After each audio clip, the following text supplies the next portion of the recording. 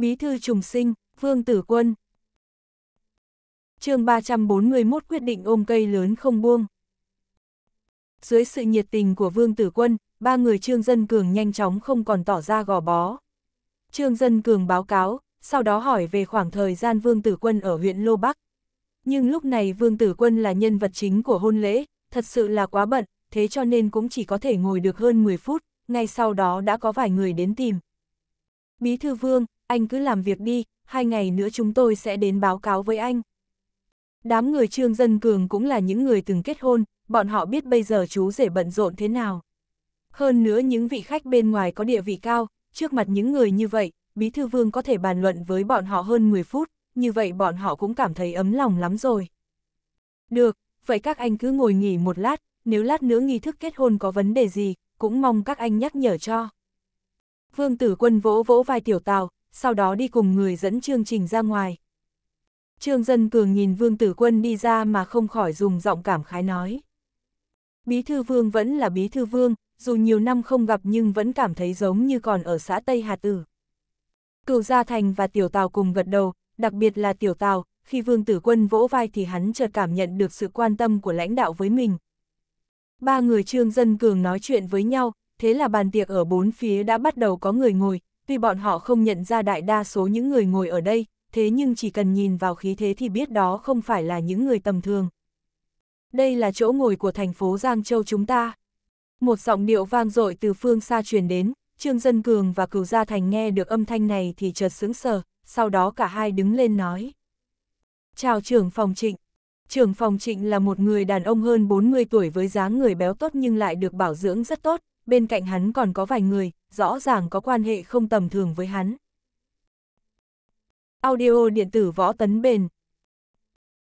Khi thấy ba người Trương Dân Cường đứng lên chào hỏi, trưởng phòng trịnh gật đầu mỉm cười, cũng không nhớ ba người này là ai, thế cho nên nở nụ cười xấu hổ dò hỏi. Các anh là... Trưởng phòng trịnh, chúng tôi là người xã Tây Hà Tử, tôi là Trương Dân Cường, anh ấy là Cửu Gia Thành. Trương Dân Cường tranh thủ đi đến trước mặt trưởng phòng trịnh dùng giọng cung kính nói. À, thì ra là người của xã Tây Hà Tử, ha ha, các anh cũng đến tham gia hô lễ à. Trưởng phòng trịnh vươn tay ra rất nhiệt tình, thậm chí còn giữ chặt lấy tay của một người không được giới thiệu như tiểu tào. Sau khi bắt tay nhau thì lão cười nói. Ngồi đi, mọi người ngồi đi, tử quân chính là cán bộ vĩ đại đi ra từ huyện Hồng Bắc, đã cho ra những cống hiến không thể xóa nhòa với thành phố Giang Châu chúng ta, các anh là chiến hữu cũ của cậu ấy, cần phải liên lạc nhiều hơn. Trương Dân Cường và Cửu Gia Thành nghe những lời chỉ đạo bình dị và gần gũi của trưởng phòng tổ chức thị ủy mà liên tục gật đầu, nhưng lúc này bọn họ càng có thêm cảm giác về nhân vật chính của buổi tiệc hôm nay. Với tâm tư của bọn họ thì sao lại không biết vì thế nào trùng hợp như vậy, nếu như không phải lãnh đạo cố ý sắp xếp thì hai người bọn họ sao có thể ngồi cùng một bàn với vị trưởng phòng tổ chức nắm vận mệnh của cán bộ toàn thành phố. Hơn nữa vị lãnh đạo khống chế các chức quan lớn nhỏ trong thành phố này vì sao lại có kiên nhẫn khách khí với mình. Khi bốn người đang nói cười vui vẻ thì một tiếng pháo điếc tai vang lên. Giờ lành đã đến. Dù chưa uống được bao nhiêu rượu nhưng Trương Dân Cường và Cửu Gia Thành thật sự cảm thấy có men say, hôn lễ quá hoa lệ và mạnh mẽ, nam nữ nhân vật chính đi ra giống như kim đồng ngọc nữ cũng làm cho bọn họ phải ngây người. Sau khi nhìn thấy tân nương với dung nhan như tiên tử thì bọn họ thầm nghĩ rằng chỉ có những cô gái như vậy mới thật sự xứng đôi với vương tử quân.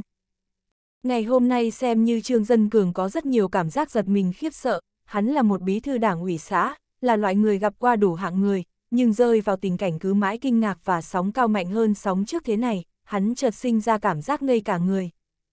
Gia Thành, đó là Mạc Lão, chúng ta có nhìn lầm không? Trương Dân Cường thật sự giống như không tin vào mắt mình, hắn kéo tay cửu Gia Thành đứng bên cạnh mình rồi vội vàng hỏi. Đúng vậy, chính là Mạc Lão. Cửu Gia Thành bình tĩnh nâng ly rượu lên rồi khẽ nói, nhưng đó chỉ là vẻ bình tĩnh bên ngoài mà thôi, nếu như Trương Dân Cường quan sát cẩn thận một chút, sẽ phát hiện trên miệng cửu Gia Thành không biết từ khi nào đã có một ngấn rượu. Rõ ràng vết rượu đó là từ chê ly văng ra, nhưng cửu Gia Thành cầm ly rượu lại không phát hiện ra. Lần này quay về thì đám người ở nhà chắc chắn sẽ hâm mộ đến chết, nếu biết rõ chúng ta lần này đến Giang Thị và được tham gia lễ kết hôn của Bí Thư Vương, chỉ sợ bọn họ sẽ hối hận mãi thôi. Trương Dân Cường ôm vai cửu Gia Thành rồi cười lớn nói.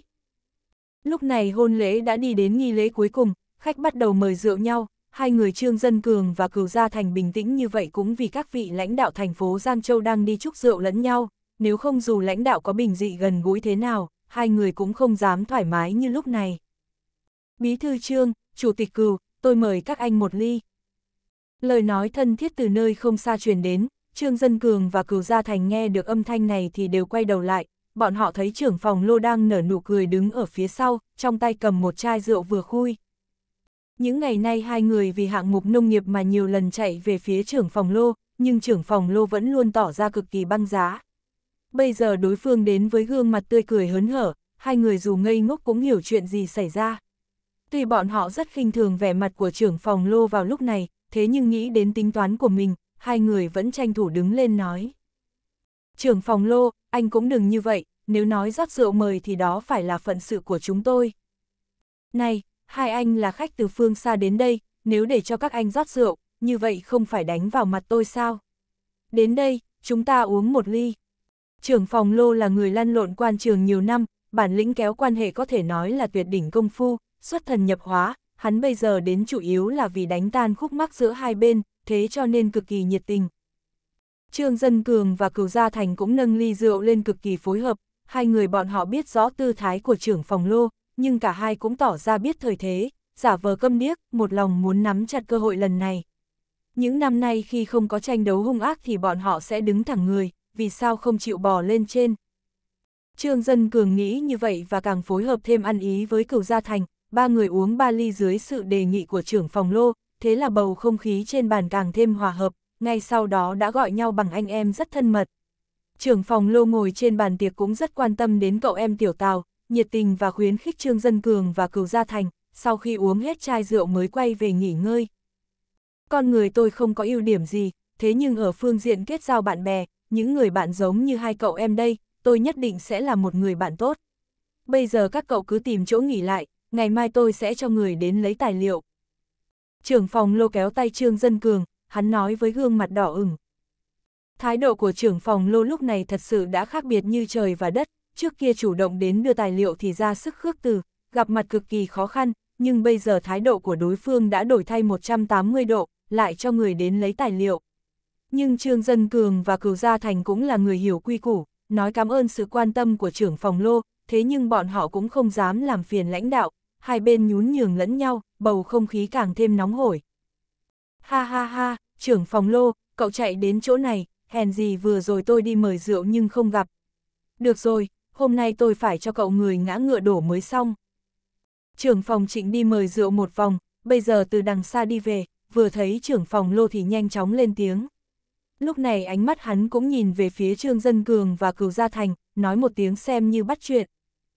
Trương Dân Cường và Cửu Gia Thành cũng vội vàng nâng ly lên cùng uống với trưởng phòng trịnh, trưởng phòng lô cực kỳ khách khí với nhóm Trương Dân Cường nhưng khi đối mặt với trưởng phòng trịnh thì lại bày ra bộ dạng cùng ngồi trên một hàng ghế, hắn cười nâng ly lên nói. Này trưởng phòng trịnh, chỉ cần anh nói như vậy, hôm nay tôi thả uống đến mức đầu váng mắt hoa cũng phải cổ động cho anh. Nhưng vừa rồi anh cũng nói rồi đấy, ngồi đây đều là anh em, hai cậu này lại là lính dưới tay tướng quân như anh, thế cho nên anh chỉ cần kéo mọi người lại là tôi xong ngay. À, tôi cũng có câu thế này, anh cũng đừng bạc đãi hai cậu em này đấy nhé. Trưởng phòng trịnh được trưởng phòng lô gọi là tướng quân, trong lòng thầm nghĩ, thì ra đối phương đang cố tìm cách nịnh nọt vương tử quân. Dù trong lòng hắn cũng có tính toán nhưng lại không muốn biểu hiện quá mức trước mặt trưởng phòng lô, thế nên hắn cười ha hả nói. Trưởng phòng lô nói rất hay, sau này mọi người là anh em, có việc gì cứ đến tìm là được. Trưởng phòng lô thầm mừng rỡ, hắn biết rõ dù lần này mình sẽ cố gắng sắp xếp hạng mục cho nhóm Trương Dân Cường, nhưng dù sao mình cũng đi bọn họ vài lần rồi, Trương Dân Cường tuy có biểu hiện cực kỳ cảm kích nhưng biết đâu sau lưng lại mắng thầm. Chính mình bây giờ mở miệng nói một câu tán thưởng bọn họ ngay trước mặt trưởng phòng tổ chức thị ủy, như vậy sẽ dễ dàng xóa đi những ngăn cách giữa hai bên trước kia. Khi trưởng phòng lô đang thầm kêu may mắn thì chợt nghe thấy có người hô lớn. Chú rể và tân nương đến mời rượu. Bốn người đang chuẩn bị uống rượu thì nghiêng đầu nhìn về phía phát ra âm thanh, đúng lúc thấy Vương Tử Quân mặc một bộ tây trang màu đen và Mạc Tiểu Bắc mặc một chiếc váy hồng nhẹ nhàng đi đến. Sau lưng Vương Tử Quân và Mạc Tiểu Bắc chính là Tôn Khải và Tô Anh với vẻ mặt đứng đắn, bọn họ bưng theo một chiếc khay, bên trên là một bình rượu tinh xảo và hai chiếc ly rất đẹp. Hai người đi mời rượu thì phần lớn chỉ là lướt qua, vì đây là tiệc cưới nên cũng không ai nói gì, thế cho nên lúc này Vương Tử Quân và Mạc Tiểu Bắc đã nhanh chóng đi đến bàn tiệc của Trương Dân Cường. Có hai gia tộc lớn là Vương Gia và Mạc Gia bày biện sắp xếp, thế là quy cách của một hôn lễ con cháu thủ trưởng cũng xem như nước lên thuyền lên. Hôm nay người dẫn chương trình, có nhiệm vụ đi theo cống hiến sức lực cho cặp gia nhân phối ngẫu là một vị phó thư ký trưởng văn phòng tỉnh ủy, dưới những lời giải thích của hắn, Vương Tử Quân và trưởng phòng Lô Cụng Ly với nhau, sau đó đến trưởng phòng trịnh. Sau khi nói vài câu cổ động, Vương Tử Quân càng nở nụ cười. Trưởng phòng trịnh, nói ra thì tôi cũng là thuộc hạ cũ của anh, nhưng vì vấn đề công tác mà bây giờ nhảy sang tỉnh Sơn Nam, hôm nay gặp mặt anh, tôi cảm thấy giống như được quay về nhà mẹ đẻ vậy. Phòng tổ chức luôn được đám cán bộ gọi là mẹ đẻ, trưởng phòng trịnh làm công tác tổ chức nhiều năm, tất nhiên hiểu rõ ý nghĩa làm thân trong lời nói của Vương Tử Quân. Trong hôn lễ như thế này, tuy không thể nói ai cũng mạnh hơn mình, nhưng trưởng phòng trịnh cũng hiểu, dựa vào thân phận của mình thì căn bản không tính là gì với Vương gia. Vương Tử Quân là một nhân vật chính cực kỳ sặc sỡ của ngày hôm nay, nhưng đối phương lại hạ thấp tư thái lên tiếng với mình như vậy, đủ cho người ta phải sợ hãi, thế là trưởng phòng trịnh nhanh chóng đứng lên nói.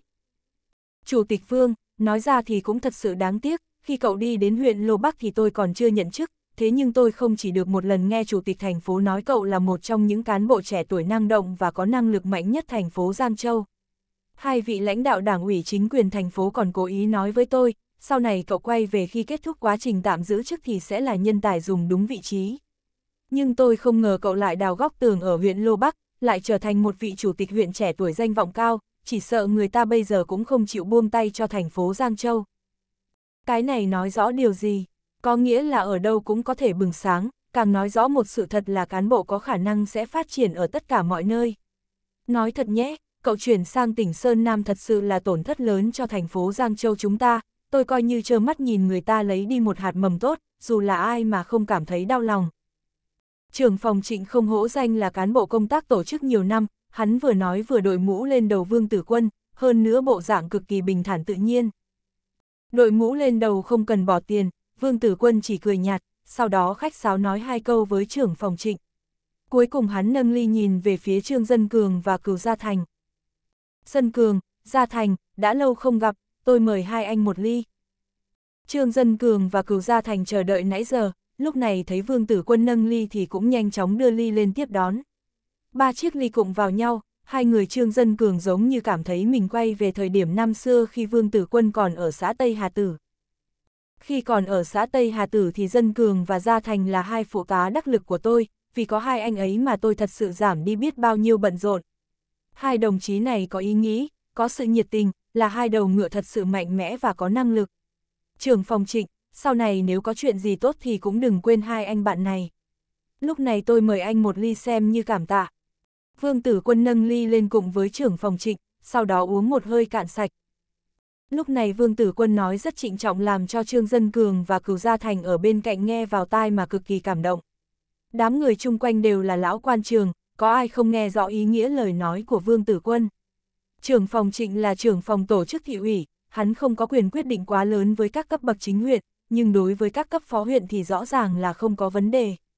Bây giờ thấy Vương Tử Quân tỏ ra chân thành như vậy, hắn biết rõ hai người này có quan hệ không tầm thường với Vương Tử Quân, thế là cũng thoải mái nâng ly lên uống cạn, sau đó hắn dùng giọng sảng khoái hứa hẹn. Chủ tịch Vương, tôi xem như trèo cao gọi cậu là cậu em, cậu cứ yên tâm, chuyện của cậu là chuyện của tôi. Vì lúc này là hôn lễ nên Vương Tử Quân chỉ nói đùa thêm hai câu rồi đi sang bàn khác, thế nhưng chỉ vài câu đơn giản và vài ly rượu lại làm cho Trương Dân Cường và Cửu Gia Thành cực kỳ cảm xúc. Bọn họ biết rất rõ, bây giờ lời nói của Vương Tử Quân rất có độ nặng, có những lời vừa rồi của Bí Thư Vương thì hai người bọn họ sẽ có cơ hội hơn rất nhiều. Đến lúc cuối cùng, Trương Dân Cường và Cửu Gia Thành cảm thấy có chút chóng mặt phải cung kính nói lời cáo biệt với trưởng phòng trịnh và trưởng phòng lô. Tuy Vương Tử Quân không tiếp tục xuất hiện nhưng mối quan hệ giữa bốn người trên bàn rượu đã tăng tiến rất mạnh, thật sự thân thiết như anh em. Khi nhóm Trương Dân Cường rời đi, trưởng phòng trịnh giống như ngậm cả quả trứng gà vào miệng, hắn nhiệt tình kéo tay Trương Dân Cường và Cửu Gia Thành, giao động trái phải, nói những lời rất hay. Đó là sau này nếu có khó khăn gì trong công tác thì nên liên hệ với anh, nếu không thì sẽ là coi thường anh Trịnh này. Thật sự giống như một giấc mơ. Trương Dân Cường ngồi trên xe, hắn hạ cửa sổ thủy tinh xuống hít vài hơi, sau đó dùng giọng cực kỳ cảm khái nói. Trong lòng cửu gia thành sao không có ý nghĩ này. Hắn dựa lưng ra sau ghế, lại dùng cảm thán nói. Anh nói xem, thật sự không phục không được, trước khi bí thư vương giới thiệu hai ta, con bà nó những người kia đều không ăn mắm không dặm muối, không chịu nể mặt. Đến lúc chúng ta đứng bên cạnh bí thư vương, bọn họ nhanh chóng thay đổi vẻ mặt, thật sự chỉ hận không thể đến thật gần để hưởng hào quang. Ôi, lãnh đạo của chúng ta chỉ cần đứng lại nói vài lời cũng đủ cho hai chúng ta bớt khổ sở công tác vài năm, nhưng không biết lúc này tạm biệt đến bao giờ gặp lại. Chúng ta muốn gặp lãnh đạo không phải dễ dàng sao? Tuy lãnh đạo rất bề bộn nhưng chúng ta có thể đến Sơn Nam, đợi đến khi anh ấy hết bận rộn thì chúng ta sẽ ôm cây đợi, lãnh đạo. Trương Dân Cường đã cho ra quyết định ôm lấy cây đại thụ vương tử quân không buông ra, hắn nói với vẻ mặt rất quyết đoán. Hai người Trương Dân Cường công tác nhiều năm với nhau, sao không hiểu tâm tư của đối phương, thế là cùng cười lên ha hả. Lúc này tất cả phồn hoa đã rời xa, chỉ còn lại sự yên lặng tuyệt đối. Trong một gian phòng cao cấp của khách sạn Giang Nguyên, tất cả giống như được sắc đỏ bao phủ. Mạc Tiểu Bắc lặng lặng ngồi trên chiếc chăn gấm nguyên ương, không biết nàng đang suy nghĩ điều gì. Cửa khẽ mở, Vương Tử Quân mang theo mùi rượu di vào với bộ dạng lắc lư. Dù hôn lễ là trường hợp trang trọng và Vương Tử Quân cũng không uống nhiều, nhưng dù uống không nhiều thì tử lượng của hắn vẫn không cao, say men vẫn là điều khó tránh khỏi. Hơn nữa khi đi mời rượu thì hắn cũng bi không ít người ép nhấp một ngụm, nhiều lần cũng làm người ta say xưa. Mạc Tiểu Bắc gần đây đối diện với Vương Tử Quân thì tỏ ra rất ung dung, nhưng lúc này nàng chợt cảm thấy cơ thể căng cứng. Lúc này từng hành vi cử chỉ của nàng đều lọt vào mắt Vương Tử Quân, thế là hắn chợt nhớ đến tình huống gặp nàng lần đầu tiên. Vương Tử Quân nhìn gương mặt có chút căng thẳng của Mạc Tiểu Bắc, hắn biết rõ lúc này mình càng phải chủ động, càng phải cường thế, nếu như cứ để nàng như vậy, chẳng lẽ để mồi sổng chuông. Giống như đã trôi qua cả thế kỷ, Vương Tử Quân đặt một tay lên vai Mạc Tiểu Bắc, hắn quay người nàng trở lại. Một hơi thở nóng hừng hực bùng lên, rất cay và ấm, một bàn tay lớn có sức lực vô cùng đã áp lên người Mạc Tiểu Bắc, nàng cảm thấy tất cả rụt rè e thẹn của mình chợt sụp đổ, hận không thể đâm đầu vào trong lòng người đàn ông này. Mạc Tiểu Bắc không thể nào ngăn chặn được cảm giác đang bùng lên lấn áp tâm can, thật sự là bên trong rất khó chịu. Thế nhưng nàng vẫn ngồi yên không nhúc nhích, nàng thậm chí cắn chặt môi, cố gắng bảo trì vẻ cố thủ và kiêu ngạo của mình. Tiểu Bắc, kết hôn thứ gì cũng tốt, nhưng trình tự hơi nhiều, thật sự có chút mệt mỏi. Vương Tử Quân nói, sau đó hắn ngồi xuống bên cạnh Mạc Tiểu Bắc. À, em cũng cảm thấy có chút mệt mỏi. Mạc Tiểu Bắc ngẩng đầu Vương Tử Quân, nhưng ngay sau đó lại khẽ nói. Nhưng em cũng rất chờ mong, rất yêu mến. Mạc Tiểu Bắc nói lại sợ Vương Tử Quân nghĩ đến phương diện khác, thế là nói tiếp. Em với anh. Rõ ràng câu cuối là một lời giải thích vẽ rắn thêm chân, Mạc Tiểu Bắc nói ra mà có chút sợ hãi, nàng lúc này giống như đã cởi bỏ lớp da rắn ra bên ngoài, biến thành một cô gái lúc nào cũng có thể đỏ mặt. Dưới ánh đèn hồng, vẻ mặt Mạc Tiểu Bắc giống như một trái táo chín đỏ, hai mí mắt hạ xuống, gương mặt say hồng, nụ cười trúng chím. Vẻ mặt nàng có một cảm giác linh động khó nói nên lời, làm cho người ta sung sướng, làm cho người ta mơ màng, Vương Tử Quân cảm thấy mình bị hãm sâu vào bên trong, thật sự khó thể nào dứt ra. Nhưng khi nhìn bộ dạng dịu dàng như một con thỏ bạch của Mạc Tiểu Bắc, hắn cũng không đành lòng xoa nắn, thế là nằm xuống và nói một câu hai nghĩa. Anh cũng vậy, ngoài mệt mỏi thì cũng chỉ là mệt mỏi, nhưng nằm xuống sẽ thoải mái hơn. Mạc Tiểu Bắc nhìn Vương Tử Quân nằm chổng vó lên giường, nàng vô tình xịt người ra một chút. Vương Tử Quân chợt nghiêng đầu lại, hắn vươn tay nắm lấy bàn tay của nàng rồi bỏ vào ngực mình, bàn tay hơi lạnh nhưng mượt mà bóng loáng. Hắn ghé sát tai nàng rồi dịu dàng nói. Nằm xuống với anh một lát, hôm nay là tối động phòng hoa trúc, chúng ta tâm sự một chút. Không cần phải. Mạc Tiểu Bắc quẩy người giật bàn tay ra khỏi ngực Vương Tử Quân, cơ thể được rèn luyện trong quân ngũ càng thêm cứng rắn. Nhìn gương mặt xấu hổ của Mạc Tiểu Bắc, Vương Tử Quân cảm thấy có chút buồn cười, hắn biết cô gái này đang còn một chiếc vỏ khá cứng, bây giờ điều hắn cần làm chính là chậm rãi đập nát lớp vỏ này, biến nàng thành một con mèo hiền dịu và ngoan ngoãn. Tiểu Bắc, anh luôn nghĩ rằng em là một cô gái nói lời giữ lời, nhưng hôm nay anh mới biết cũng có lúc em lật lọng. Vương Tử Quân nhìn gương mặt đỏ hồng của Mạc Tiểu Bắc và cơ thể thon dài hấp dẫn nõn nà, ánh mắt hắn chợt xoay chuyển, hắn cười nói với nàng chương 342 đêm động phòng hoa trúc. Em không giữ lời khi nào. Mạc Tiểu Bắc không biết là mình trúng kế, nàng ngẩng đầu dùng ánh mắt có chút buồn bực nhìn Vương Tử Quân. Em còn nói nữa, Khi ở huyện Lô Bắc anh có mua cho em một chiếc áo đỏ, em đã đồng ý hôm nay mặc cho anh xem, em lại nói sẽ mặc nếu anh thích, nhưng hôm nay sao anh không thấy đâu. Vương tử quân búng ngón tay, giống như cáo đang bắt gà vậy. Gương mặt Mạc Tiểu Bắc chợt đỏ bừng, nàng dùng ánh mắt căng thẳng nhìn Vương Tử Quân, sau đó ngập ngừng nói. Anh đúng là vô lại, chỉ biết trêu chọc em. Vương Tử Quân nhìn Mạc Tiểu Bắc, hắn cũng không khỏi nghĩ đến chiếc áo màu đỏ mình mua trước đó, mà hắn cũng hiểu lời nói của nàng. Nàng là một cháu gái được cưng chiều nhất ở Mạc Gia, nếu nàng thật sự mặc chiếc áo đỏ kia trong hôn lễ, chỉ sợ sẽ tạo thành đủ mọi tiếng chê cười. Nhưng không phải là vào một ngày giống như thế này ở kiếp trước thì cô gái kia mực một bộ quần áo như vậy cả ngày sao. Hơn nữa nàng còn nói có thể mặc áo đỏ để gả cho mình chính là chuyện vui nhất của cả đời, hắn nghĩ đến những chuyện kiếp trước, thế là không nhịn được phải nói.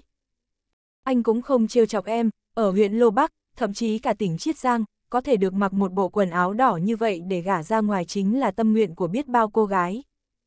Mạc Tiểu Bắc nhìn chút cảm tình khó thể nói nên lời trên mặt Vương Tử Quân, nàng không khỏi vươn tay ra cầm lấy bàn tay của hắn. Nàng không biết nên an ủi hắn như thế nào, nhưng nàng cảm thấy tâm tính lương thiện của mình sinh ra một cảm nhận cực kỳ sâu sắc. Mạc Tiểu Bắc khẽ cởi nút áo, một chiếc áo màu đỏ có hình rồng phượng xuất hiện trên người nàng, sau đó nàng khẽ nằm xuống bên cạnh Vương Tử Quân, cặp mắt lẳng lặng nhìn hắn. Vương Tử Quân đang vô tình chìm đắm trong những chuyện cũ vào kiếp trước, hắn chợt chậm rãi tỉnh táo trở lại, hắn cảm nhận được những nhịp hít thở nhẹ nhàng của mình, một cảm giác khó hiểu chợt bùng lên trong lòng. Hắn không nói gì, hắn khẽ nghiêng đầu sang chỗ khác, nhìn cô gái dịu dàng xinh đẹp nằm ngay bên cạnh mình, vô tình trong lòng chợt bùng lên cảm tình dịu dàng vô hạn. Hình ảnh mà Vương Tử Quân vừa thấy chợt biến mất không còn, lúc này hắn chỉ muốn nằm ở bên cạnh Mạc Tiểu Bắc như thế này, mãi mãi như thế này, không bao giờ rời xa. Hai người lặng lặng hít thở, trong tiếng hít thở đó, hai người như cảm thấy nhịp tim của đối phương. Tuy hai bên không mở miệng thế nhưng lúc này lại thầm sinh ra cảm giác như hòa tan vào với nhau. Thực tế thì anh không xứng với em. Những lời nói thế này chợt phát ra khỏi miệng Vương Tử Quân, hắn nói rất nhẹ nhàng và tự nhiên, không chút che giấu, trong lòng lại càng sinh ra một ý nghĩ, đó là nếu không nói ra những lời này thì càng thêm khó chịu. Không được nói những lời này. Không chờ Vương Tử Quân nói hết lời, Mạc Tiểu Bắc xòe bàn tay ra che miệng Vương Tử Quân, nhưng khi bàn tay trắng nõn thon dài của nàng rơi lên miệng hắn, hắn lại dùng tay gỡ bàn tay của nàng ra.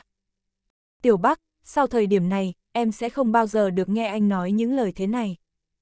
Ánh mắt Vương Tử Quân càng thêm kiên định, tuy lý trí nói cho hắn biết làm như vậy là không hay, nhưng xúc động trong lòng lại dày vò hắn, đốc thúc hắn nói ra, nói ra thì hắn sẽ được giải thoát. Một bàn tay kiên định khác lại duỗi tới, bàn tay của Vương Tử Quân cũng nhanh chóng thu về. Tiểu Bắc, em có biết chiếc xe hôm nay không? Giọng nói của Vương Tử Quân chợt có chút trầm thấp, nhưng khi mở miệng nói đến chữ xe thì hắn chợt cảm thấy cơ thể bên cạnh có hơi run. Khi hắn còn chưa kịp phản ứng, một cặp môi lạnh như băng mang theo một nụ hôn ngọt ngào đã đặt lên môi hắn. Em yêu anh. Một âm thanh trong trẻo vang lên bên tai Vương Tử Quân, thế là hắn chợt ngây dại trong âm thanh dịu dàng tràn đầy tình cảm như vậy. Mạc Tiểu Bắc dùng môi mình bao phủ bờ môi của Vương Tử Quân, nàng không có chút kinh nghiệm, lúc này nàng nằm sấp trên người tình nhân, dùng phương pháp của mình để che giấu đi những đau đớn trong lòng. Nàng không muốn nghe hắn nói những lời vô căn cứ, nàng muốn hắn cứ yên lặng, vì hắn thẳng thắn sẽ làm cho hai bên có hố sâu ngăn cách. Vương Tử Quân thật sự chống đỡ không được, mái tóc của Mạc Tiểu Bắc chảy xuống mặt hắn, che một phần gương mặt, lại càng làm cho tình huống trở nên động tình. Hắn chỉ cảm thấy trong cơ thể có thứ gì đó bùng nổ, như gió thổi mây tuôn, từng luồng khí nóng bốc lên hừng hực, hắn không thể chờ được nửa mà lột trần Mạc Tiểu Bắc, không kiêng nể gì cả.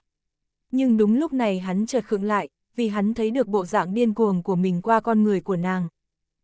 Vương tử quân sợ làm cho Mạc Tiểu Bắc sợ hãi, hắn muốn dịu dàng hơn một chút, hắn giang hai tay ôm lấy nàng, miệng hắn như một đóa hoa áp lên cơ thể mềm mại của nàng. Lúc ấy nàng cố gắng đẩy hắn ra, nhưng lại giống như càng ôm chặt thêm, nàng chỉ cảm thấy toàn thân mê muội run rẩy, từng tấc da thịt phải tiếp xúc với cặp môi nóng bỏng của hắn. Vương Tử Quân là một người đã có kinh nghiệm, đã phát sinh quan hệ với nhiều phụ nữ, nhưng hắn biết không có bất kỳ người đàn ông nào có đủ định lực khi đứng trước một cô gái thanh xuân xinh đẹp như vậy. Giống như một bó củi khô bị người ta vứt vào trong một góc trải qua bao năm tháng, bây giờ một ngọn lửa bùng lên, bó củi nhanh chóng bắt lửa và cháy hừng hực. Vương tử quân thô bạo đẩy Mạc Tiểu Bắc ngã xuống giường, hắn tiến lên như gió, vuốt mái tóc Vương trên mặt, trên mắt nàng. Sau đó hắn giống như một con thú đói tiến lên thôn vệ con mồi, ngụp lặn thật sâu trên cơ thể Mạc Tiểu Bắc. Mạc Tiểu Bắc nhắm mắt lại thật chặt, hai bà tay lớn của Vương Tử Quân di chuyển qua từng tấc da thịt trên người nàng, sau đó chậm rãi tiến lên đỉnh núi cao ngất. Đỉnh núi đỏ hồng, ập dấu vẻ quyến rũ vô hạn, ánh sáng rực rỡ, hắn chợt trở nên cực kỳ dịu dàng, giống như chỉ sợ không cẩn thận sẽ làm vỡ một thứ gì đó. Vô tình bà tay Vương Tử Quân đưa xuống bên dưới, cũng giữ chặt lấy người phụ nữ trong lòng, miệng đưa lên ngực, trước tiên dùng miệng chặn miệng của Mạc Tiểu Bắc, sau đó mới chậm rãi đưa xuống bên dưới. Nàng vùng vẫy trong lòng hắn nhưng lại vấp phải hai cánh tay tràn đầy lực lượng, vì thế mà hành vi phản kháng của nàng thật sự không có tác dụng, tan thành mây khói, tâm tình mềm nhũn tan vào trong bể tình ngàn dặm, hận không thể giết chết đối phương. Một đêm triền miên, sau một đêm điên cuồng, Vương Tử Quân mở mắt, hắn cảm thấy toàn thân cực kỳ thoải mái, tinh thần sảng khoái. Hắn khẽ nghiêng đầu, thấy Mạc Tiểu Bắc đang nằm bên cạnh như một con mèo nhỏ, nàng lặng lặng ghé vào lòng hắn, làn da như ngọc chợt bừng sáng, quyến rũ vô hạn. Tối qua hầu như, Vương Tử Quân nghĩ đến tình hình tối qua mà khóe miệng lộ ra nụ cười thản nhiên, hắn không ngờ sự việc lại là như vậy. Những phản hồi từ một cô gái lần đầu tiên yêu thương này đã làm cho hắn cảm nhận được một tình yêu mãnh liệt.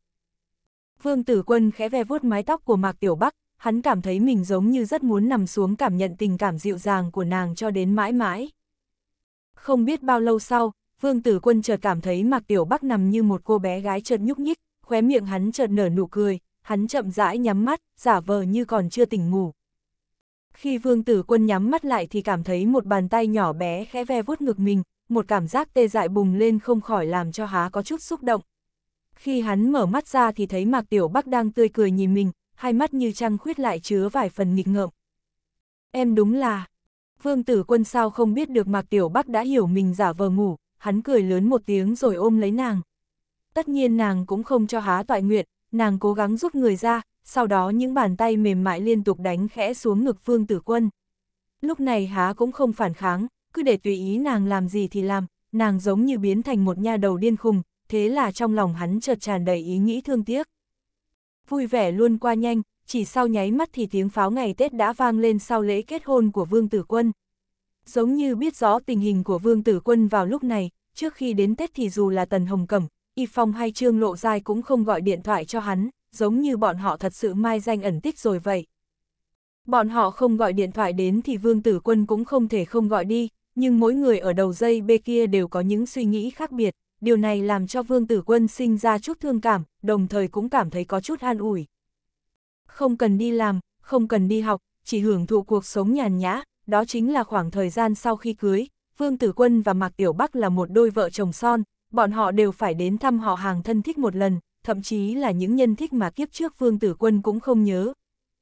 Người thân ở thành phố Giang Thị, còn có người thân ở thủ đô, mãi đến tận ngày mùng 6 thì mới xem như xong tất cả, chỉ là hết ngày mùng 6 thì xem như đã kết thúc tất cả kỳ nghỉ.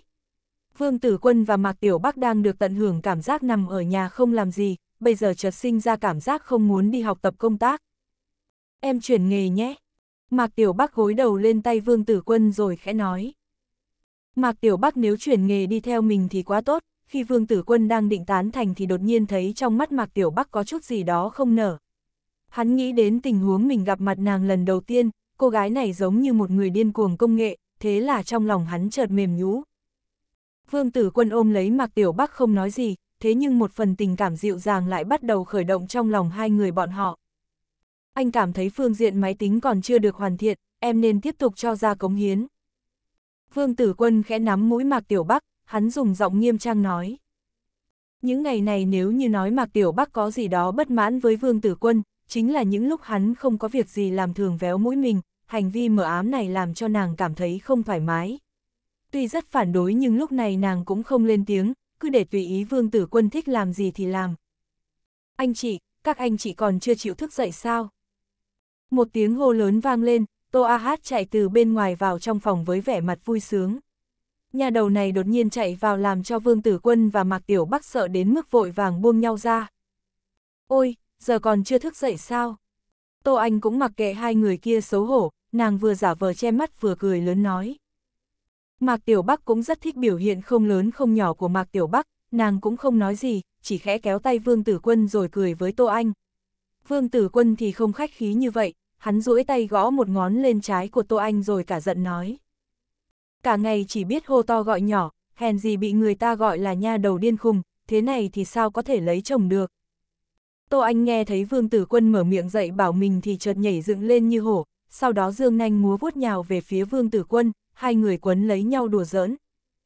Anh chị, đừng cả ngày cứ ở mãi trong thế giới của hai người, càng như thế này càng phải ra ngoài một chút. Em có vài vé xem ca nhạc lấy được từ bố, nếu không tối nay chúng ta đi xem ca nhạc nhé. Em nghe nói ngôi sao liên sẽ đến biểu diễn. Vương Tử Quân nhìn Tô Anh đưa ra hai tấm vé như hiến vật quý, trong đầu chợt lóe lên ý nghĩ, mình cũng nên ra ngoài thư giãn một chút, thế là hắn nha chóng cầm vé rồi nói. Cảm ơn ý tốt của em, chúng tôi nhất định sẽ đi, em đi trước đi. Hành động qua cầu rút ván của Vương Tử Quân làm cho Tô Anh bất mãn, sau khi nàng lên tiếng tố cáo không ít khuyết điểm của Vương Tử Quân với Mạc Tiểu Bắc thì mới cười lớn đi ra. Tết đúng là thời điểm mà người ta cực kỳ rảnh rỗi, thế cho nên chương trình ca nhạc lần này tụ tập không ít người. Vương Tử Quân dừng xe lại, hắn phát hiện ngoài cung văn hóa thành phố Giang Thị đã đầy người.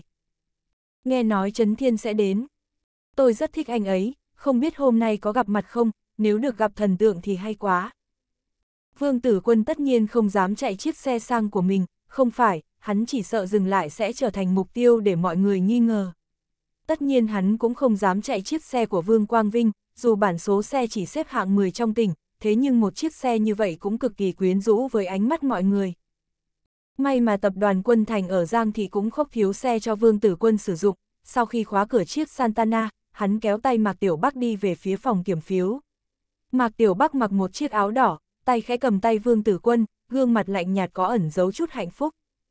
Hai người Vương Tử Quân vừa đến phòng kiểm phiếu, bọn họ đang định ngồi xuống thì có người hô lớn. Ôi, anh chị đến rồi à, trùng hợp thế nhỉ? Âm thanh này vang lên làm cho Vương Tử Quân nở nụ cười, thì ra là Tô Anh. Cô nàng này cho mình vẽ, Vương Tử Quân thầm nghĩ và cảm thấy sự việc không đơn giản như vậy. Vương Tử Quân dùng ánh mắt oán giận nhìn Tô Anh, hắn cũng chỉ có thể trơ mắt nhìn Tô Anh đi đến nói chuyện rôm giả với Mạc Tiểu Bắc mà thôi. Vương Tử Quân thật sự không có cảm giác gì với những trò ca nhạc thế này, nhưng thấy bộ dạng hưng phấn của Tô Anh thì hắn chợt cảm thấy mình già rồi. Đặc biệt là tên ca sĩ Trấn Thiên Nam vừa mới xuất hiện thì các cô gái bên dưới đã gào thét lên như bị điên, điều này càng làm cho hắn sinh ra cảm giác lạc lòng. May mà ở bên cạnh hắn có một người cũng không mấy hứng thú là Mạc Tiểu Bắc, hắn nhìn thấy nàng bắt đầu chán nản cúp mắt xuống, thế là hắn hạ quyết tâm, sau khi dặn dò vài câu nói Tô Anh chú ý an toàn, hắn nắm tay Mạc Tiểu Bắc rời khỏi tụ điểm ca nhạc. Kẹo hồ lô này rất ngon, em nếm thử xem. Sau khi đi ra ngoài thì Vương Tử Quân thuận tay mua hai cây kẹo đường hồ lô, một cây đưa cho Mạc Tiểu Bắc, một cây thì tự tặng cho chính mình chương 343 tôi dùng tính mạng kêu gọi anh. Nếu so với bên trong huyên náo thì bên ngoài có vẻ trong trẻo và lạnh hơn, Vương Tử Quân cũng không còn tâm tình đi dạo, hắn kéo tay Mạc Tiểu Bắc đi về phía để xe. Tôi đã nói với các anh bao nhiêu lần rồi, tôi không có hứng thú, mau tránh ra. Một giọng nói trong trẻo và tức giận chợt vang lên ở bên cạnh, Vương Tử Quân nghe thấy âm thanh này mà không khỏi sững sờ. Giọng điệu này sao lại quen thuộc như vậy? Vương Tử Quân vô thức dừng lại rồi quay đầu sang nhìn, hắn thấy có ba bốn tên đàn ông đang vây quanh một cô gái mặc áo lông trắng. Tuy đèn đường hơi mờ, nhưng dưới ánh sáng đèn đường như vậy Vương Tử Quân vẫn có thể liếc mắt và nhận ra gương mặt của cô gái, là Lâm Dĩnh Nhi. Tiểu thư, tổng giám đốc của chúng tôi cũng là vì cô, nếu gia nhập vào công ty của chúng tôi, công ty của chúng tôi nhất định sẽ đầu tư cho cô, chỉ cần biểu diễn vài sâu là cô sẽ trở thành ngôi sao sáng trên bầu trời. Cô xem Trấn Thiên Nam kìa, có sức ảnh hưởng thế nào? Có bao nhiêu người yêu mến? Đó đều là công lao của Tổng Giám đốc chúng tôi. Một người đàn ông hơn 30 tuổi vừa đứng ra chặn đường vừa lên tiếng giống như đang muốn chiêu mộ Lâm Dĩnh Nhi. Đứng bên cạnh tên này là một người đàn ông mặc tây trang, mặt hơi nhiều mụn, nhưng cặp mắt như bong bóng lại làm cho người ta sinh ra cảm giác không tốt. Lúc này ánh mắt của hắn đang đảo tới đảo lui trên người Lâm Dĩnh Nhi. Tôi đã nói rồi, tôi không có hứng. Lâm Dĩnh Nhi hất tay lên, sau đó nàng xoay người muốn đi. Nhưng lúc này đám người kia muốn biểu hiện trước mặt giám đốc, sao có thể để cho nàng được như ước nguyện. Một tên khác chuyển chân đi đến trước mặt Lâm Dĩnh Nhi nói. Tiểu thư, cũng đừng không uống rượu mời mà thích rượu phạt, đến lúc đó thì tất cả sẽ quá muộn. Các người tránh ra, nếu không tôi sẽ báo cảnh sát. Lâm Dĩnh Nhi bị đối phương nói lời hù dọa thì không khỏi lớn tiếng nói. Báo cảnh sát thì thế nào? Phải biết rằng, phải biết rằng công ty giải trí Hồng Ma Phương chúng tôi là một khách mời tôn quý của thành phố Giang Thi, đừng nói là cảnh sát, dù là cục trưởng cục công an đến đây cũng phải hộ tống cho chúng tôi diễn xuất. Giám đốc của chúng tôi cũng xuất phát từ phương diện ái tài mới mời cô gia nhập vào công ty, cho dù cảnh sát có đến thì cũng không thể ngăn chúng tôi chiêu binh mãi mã tuyển dụng nhân tài được. Người đàn ông đứng ra ngăn trở Lâm Dĩnh Nhi chợt cười tủm tỉm nói. Lâm Dĩnh Nhi một mình đi ra chỗ này, sau khi biết được tin tức Phương Tử Quân kết hôn thì tâm tình của nàng giảm xuống rất thấp, trong lòng sinh ra cảm giác cực kỳ đau thương. Tết đến và bầu không khí ồn ào náo động cũng không thể làm cho nàng vui vẻ, hoặc ở nhà tĩnh lặng chán trường cũng không phải là biện pháp hay, cứ mỗi lần nàng nghe những bản tình ca cảm động là y như rằng sẽ đắp chăn khóc đến tận khuya mà không ngủ được, đến lúc cuối cùng mới hỗn loạn rơi vào giấc ngủ, thật sự không nghĩ xem hiện thực xảy ra chuyện gì, có lúc nàng một mình đi ra ngoài đường, mùa đông lạnh thấu xương làm cho nàng tỉnh táo, thế là cô gái khờ dại cố chấp và đáng yêu này nghĩ rằng, nếu như anh đau lòng chỉ cần lấy độc trị độc. Đó là làm cho chính mình đau đớn đến tận cùng thì sẽ không còn đau nữa. Bộ dạng không vui của Lâm Dĩnh Nhi rơi vào trong mắt Lâm Trạch Viễn, lão cảm thấy rất đau lòng và thương tiếc, nhưng điều này cũng không thể tránh được. Con gái là nỗi uy hiếp lớn nhất của cả đời lão, nhưng chuyện vương tử quân thành thân đã là đương nhiên, dù mình là quan lớn cấp bậc cao thì là thế nào. Cũng không thể bắt cóc tiểu tử làm cho người ta vừa yêu vừa hận về nhà mình, sau đó bắt buộc phải cưới con gái của mình. Lâm Trạch Viễn nhìn nhà vương tử quân răng đèn kết hoa vui mừng hoan hỉ mà không khỏi phất tay lên giống như muốn nắm bắt thứ gì đó. Lão nhìn con gái bây giờ không còn dịu dàng ngoan ngoãn giống như bình thường, lại hầu như biến thành một con mèo nhỏ đau lòng và bất lực, thế là trong lòng chợt sinh ra cảm giác đèn nén, hầu như có một gánh nặng áp chế làm cho người ta không thể nào thoải mái, giống như nó sắp đè sập con gái mình. Lão không biết phải làm sao để tìm một lối thoát cho những cảm giác đau lòng của con gái mình, thế là trong lòng thầm hận Vương Tử Quân, hận tên khốn kia cướp đi trái tim của con gái mình, hận hắn không tim không phổi kết hôn với một người phụ nữ khác. Những ngày này Lâm Trạch Viễn cố gắng về nhà sớm, cố gắng làm món cá cho con gái, cố gắng nấu thật ngon. Hôm nay ngồi trên bàn cơm thì Lâm Trạch Viễn đã dùng giọng dịu dàng và rõ ràng nói. Dĩnh Nhi, con đã lớn rồi, bố muốn nói với con vài câu, con cần phải nghe cho lọt. Mỗi phần tình cảm trong đời người giống như một tảng đá, mà đá thì thường trải làm đường ở dưới chân, con không thể nào ôm nó vào lòng, như vậy sẽ trở thành gánh nặng, sau này con nên quên cậu ấy đi. Lẽ ra Lâm Trạch Viễn là người đứng đầu một tỉnh, lão có thể nói ra những lời như vậy thì cũng coi như quá sức nhọc lòng vì con gái. Nhưng Lâm Dĩnh Nhi lại bị những lời nói dịu dàng và sâu sắc của bố mình làm cho bị thương, nàng khóc thét lên, lại biến thành một cô gái khóc điên cuồng không ngừng như một chú mèo con đau lòng tột cùng mà Lâm Trạch Viễn cực kỳ quen thuộc, điều này làm cho lão cực kỳ thương yêu, đồng thời cũng thở dài một hơi. Lão thật sự muốn hiệu quả như vậy, lão không muốn con gái mình cứ chôn sâu nổi đau trong lòng. Dựa vào kinh nghiệm của một người từng trải, lão giúp con gái bộc lộ cảm xúc, như vậy tâm tình của con gái sẽ tươi sáng hơn rất nhiều. Lâm Trạch Viễn không nói lời nào, lão dùng ánh mắt yêu thương nhìn con gái khóc điên cuồng trên bàn cơm mà không khuyên lời nào.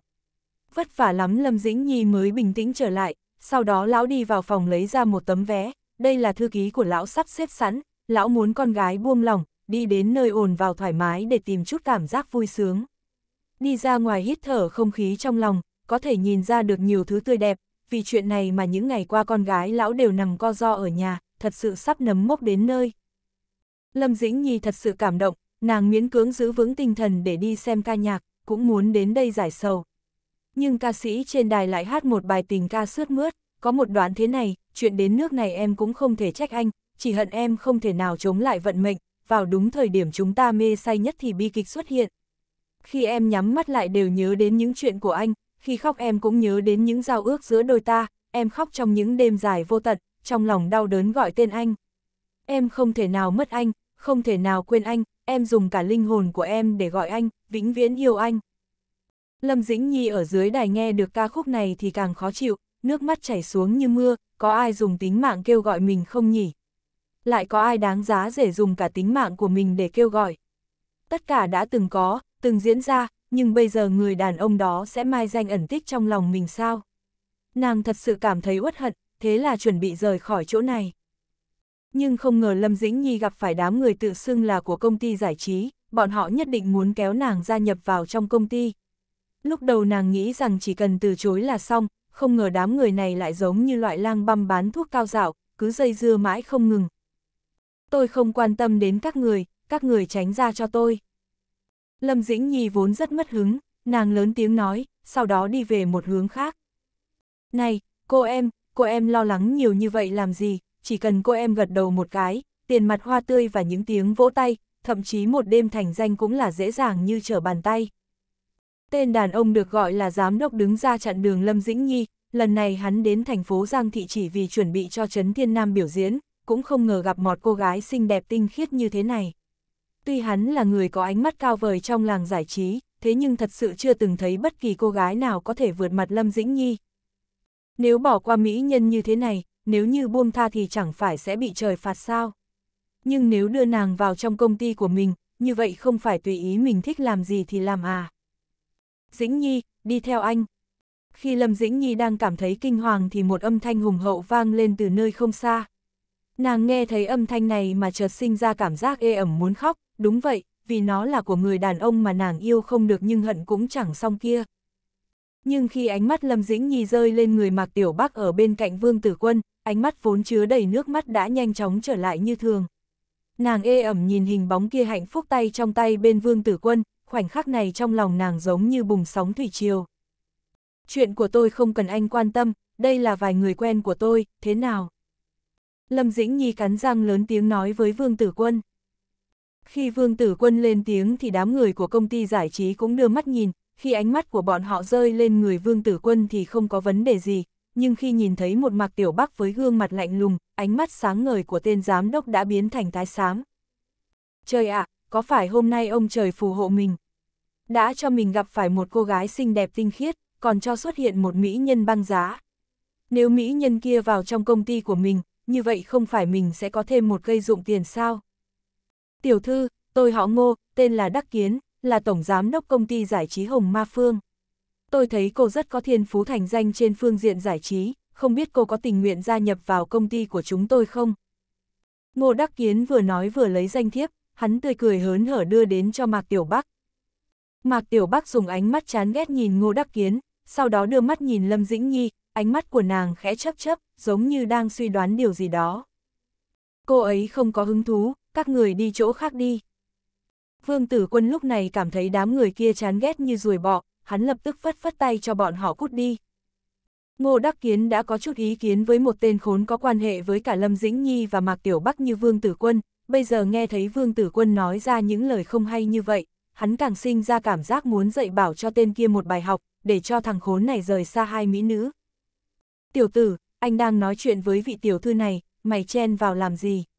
Anh nói cho mày biết, mày ở chỗ nào thì quay về xó đó đi, đừng đứng đây làm nhảm, nếu còn nói nhiều thì anh tát cho rơi răng. Ngô Đắc Kiến còn chưa nói xong thì chợt nghe thấy hai giọng nữ vang lên. Anh nói cái gì, muốn chết sao? Hai mỹ nữ cùng lên tiếng tất nhiên sẽ cho ra hương vị khác thường, nhưng hai cô gái cùng hét lên, hơn nữa hét lên vì một người đàn ông, điều này lại càng làm cho Ngô Đắc Kiến cảm thấy mình bị đè nén. Tôi nói cái gì sao? Tôi nói là nếu nó không cút đi, ông đây sẽ cho nó vài tát.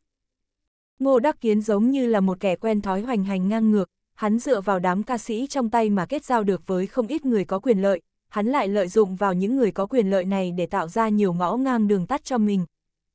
Bốp! Âm thanh một cái tát vang lên, một cái tát đập lên mặt Ngô Đắc Kiến, hắn bị đánh đến mức xoay vài vòng, thiếu chút nữa thì té lăn xuống đất. Người ra tay tất nhiên không phải là Vương Tử Quân, mà chính là Mạc Tiểu Bắc ở bên cạnh hắn.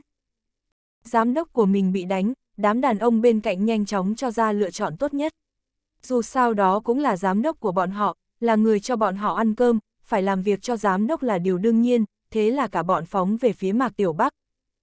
Dám đánh người, hôm nay các người đừng hòng rời khỏi chỗ này. Ngô Đắc Kiến nhìn đám thủ hạ của mình phóng về phía Vương Tử Quân, hắn cũng không quên dùng ngón tay chỉ về phía Vương Tử Quân rồi hô lớn. Bộp, bộp, bộp. Mạc Tiểu Bắc khẽ nhíu mày, chân vung lên, chỉ su nháy mắt thì đám người phóng đến đã bị đá lăn xuống đất. Vì tình hình xảy ra quá nhanh, Ngô Đắc Kiến còn chưa kịp nói hết lời thì đám thủ hạ đã lăn lộn dưới đất. Con bà nó, chúng mày đúng là loại ăn hại, không làm gì được một con quỷ nhỏ sao. Tiến lên cho tao, đứa nào đánh ngã được nó thì tao cho 10.000 tiền thưởng.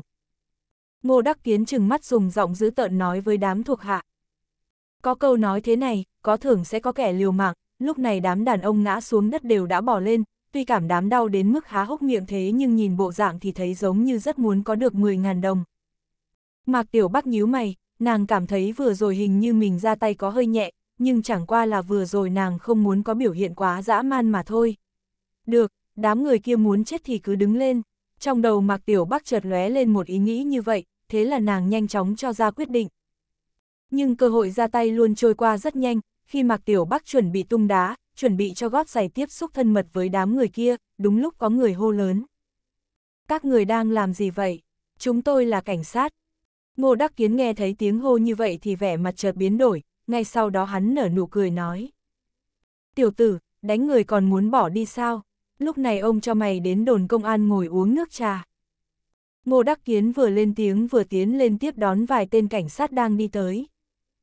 Vương Tử Quân dùng ánh mắt nhàn nhạt nhìn Ngô Đắc Kiến, hắn cũng không nói gì, chỉ đi đến bên cạnh Lâm Dĩnh Nhi, định vươn tay kéo cô gái đang rơi lệ đến bên cạnh mình. Nhưng bàn tay của hắn mới đưa lên thì dừng lại giữa không trung.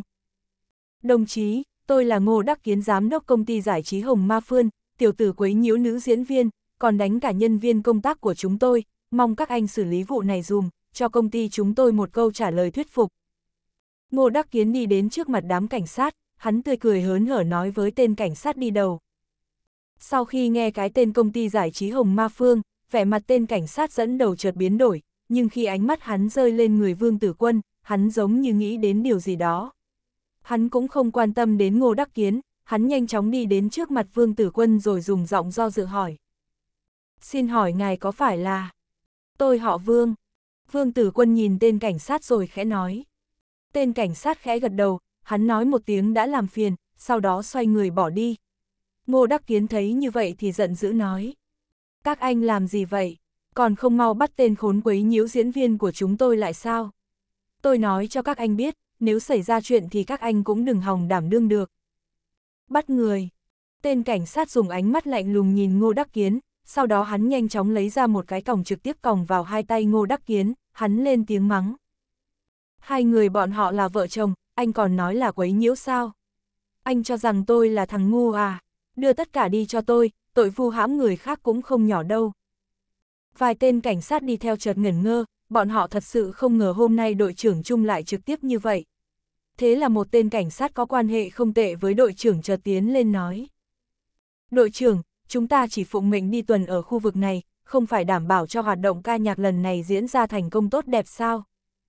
Tên cảnh sát này lên tiếng rất có trình độ, mà viên đội trưởng cũng hiểu ý nghĩa lời nói của đối phương, đó là muốn bắt ngô đắc kiến thì cũng phải có lý do rõ ràng. Cái gì mà lý do rõ ràng? Không thấy đó là vương thiếu ra sao? Tên cảnh sát được gọi là đội trưởng trung đưa mắt nhìn về phía vương tử quân, trong mắt mang theo chút sợ hãi. Lúc này trong lòng hắn thật sự sợ hãi, thầm nghĩ may mà trước kia mình đi trực đã được chứng kiến tình huống vương thiếu ra kết hôn, nếu không hôm nay đã sinh đại họa. Tên cảnh sát nhắc nhở cũng biết vương tử quân là ai, thế là cảm thấy đổ mồ hôi hột. Hắn tuy chưa từng gặp mặt vương tử quân, thế nhưng sóng gió vương tử quân tạo ra ở thành phố Giang Thị này là như thế nào thì bọn họ biết rất rõ. Tuy vương công tử đến bây giờ chưa từng làm qua chuyện gì rối loạn trật tự kỷ cương, thế nhưng thủ đoạn của vương công tử lại làm cho người ta cực kỳ kiêng kỵ. Đây là đệ nhất công tử tỉnh Chiết Giang. Tên cảnh sát nghĩ đến cái tên như vậy mà cũng không tiếp tục lên tiếng, mà vài tên cảnh sát theo sau đội trưởng chung cũng trực tiếp tiến lên đưa đám người ngô đắc kiến lên xe cảnh sát. Vương Tiên Sinh, là người bị hại, xin hỏi anh có ý kiến gì về sự việc này? Đội trưởng Trung mỉm cười đi về phía Vương Tử Quân rồi khẽ hỏi. Cứ xử lý theo luật là được. Vương Tử Quân cũng không có hứng thú với sự việc này, hơn nữa bây giờ hắn còn có một phiền toái còn chưa kịp giải quyết. Sau khi đám cảnh sát kia lên xe bỏ đi, hắn phát hiện ra một vấn đề đau đầu, đó chính là ánh mắt của Lâm Dĩnh Nhi và Mạc Tiểu Bắc cuối cùng cũng va chạm vào nhau. Cảm ơn anh, tôi về nhà, nhưng tôi muốn nói cho anh biết một câu, tôi sẽ tuyệt đối không bỏ qua. Lâm Dĩnh Nhi cắn chặt răng, nàng miễn cưỡng lộ ra nụ cười, nhưng nụ cười của nàng thật sự có chút khổ sở, trong cặp mắt lại lấp lánh ánh lệ. Vương Tử Quân nghe lời nói như xuất phát từ tận đáy lòng của Lâm Dĩnh Nhi, hắn chợt cảm thấy trong lòng run rẩy, hắn không biết thời khắc này mình muốn làm gì nữa. Em cũng không cần phải đi, bây giờ trời đã tối, đi một mình cũng không an toàn. Khi Lâm Dĩnh Nhi định cất bước thì Mạc Tiểu Bắc chợt vươn tay giữ lấy bàn tay của nàng. Chúng tôi cũng đang định về nhà, hay là theo chúng tôi cùng về. Cơ thể Lâm Dĩnh Nhi chợt run rẩy khi bàn tay của Mạc Tiểu Bắc giữ chặt lấy bàn tay mình, thế nhưng nàng vẫn dùng ánh mắt lẳng lặng nhìn Mạc Tiểu Bắc, mà ánh mắt của Mạc Tiểu Bắc cũng rơi lên người Lâm Dĩnh Nhi. Vẻ mặt hai người không có gì biến đổi, nhưng Vương Tử Quân bị kẹp vào giữa hai cô gái, hắn chợt cảm nhận được một sát khí vô hình đang bốc lên. Hắn lọt vào giữa hai bên, hắn cảm thấy toàn thân cực kỳ khó chịu. Nhưng lúc này dù Vương Tử Quân có khó chịu thế nào thì cũng phải chống đỡ mà thôi, khi hắn đang bối rối định nói hai câu để phá bỏ bầu không khí khó xử vào lúc này, lại nghe Lâm Dĩnh Nhi nói. Cảm ơn, nếu như vậy tôi cũng sẽ không khách khí. Một chiếc xe Santana chạy đi, trong xe có hai mỹ nữ khó gặp, dù là người nào cũng cảm thấy cực kỳ hâm mộ, thế nhưng Vương Tử Quân lọt vào giữa hai cô gái, hắn lại cảm thấy mình không có chút cảm giác nào là sung sướng. Hai cô gái ngồi trong xe rất bình tĩnh, một xinh đẹp và lạnh lùng không gì sánh được, một thì ngây thơ trong trắng và thanh xuân giống như một đóa hoa vừa nở, cả hai thật sự bừng sáng bên cạnh Vương Tử Quân. Nhưng Vương Tử Quân đang lái xe lại chỉ mong sao đoạn đường có thể ngắn lại một chút, để chính mình giải thoát khỏi bầu không khí đáng xấu hổ và áp chế này. Đời người gặp rất nhiều chuyện không như mong muốn, lúc này Vương Tử Quân đang rơi vào tình huống như vậy, từng chiếc đèn đỏ sáng lên làm cho hắn cảm thấy rất bực bội. May mà hai cô gái lên xe và không nói lời nào, không, cả hai không nói gì nhưng lại dùng ánh mắt dò xét lẫn nhau, bọn họ thật sự không ai thua ai. Trong khoảng thời gian khốn khổ giống như dài vô tận này, Vương Tử Quân cuối cùng cũng đến khu nhà dành cho thường ủy tỉnh ủy, hắn đi đến cổng và cũng không đi vào bên trong, lại dừng xe lại ngay ngoài cổng.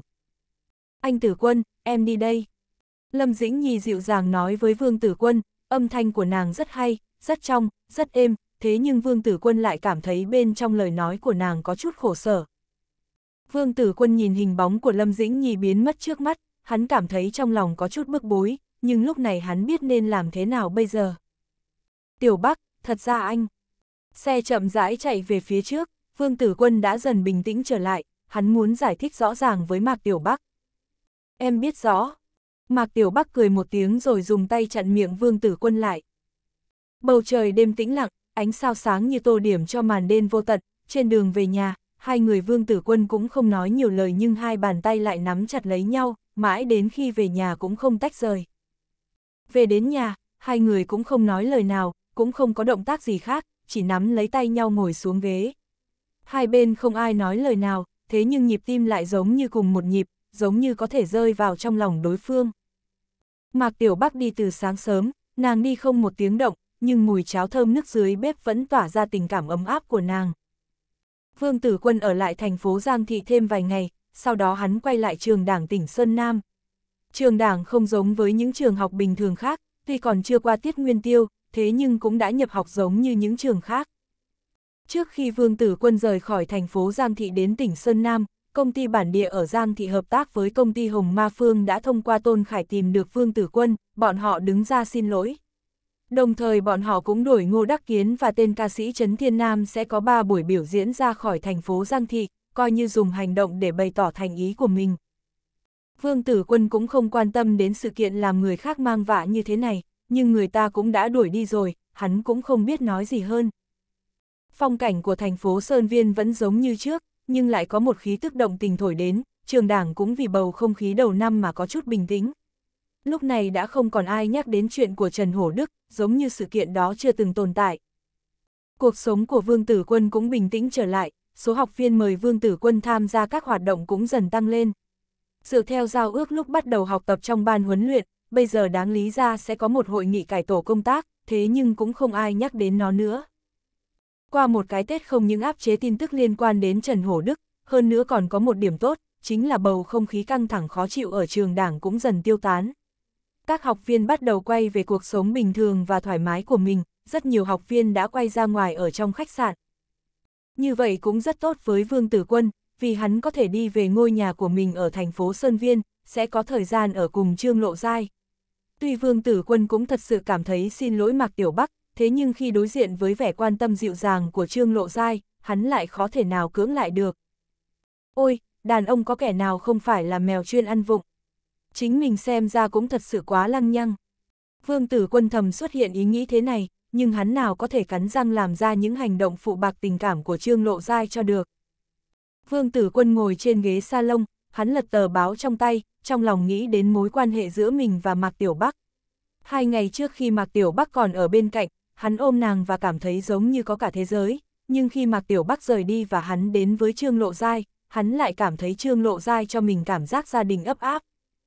Trong phòng bếp vang lên tiếng xào rau, Trương Thiên Tâm nói Trương Lộ Giai là người không thích nấu nướng, thế nhưng sau khi hai người Vương Tử Quân và Trương Lộ Giai có căn nhà của riêng mình, Trương Lộ Giai thật sự rất ít khi muốn ra ngoài dùng cơm.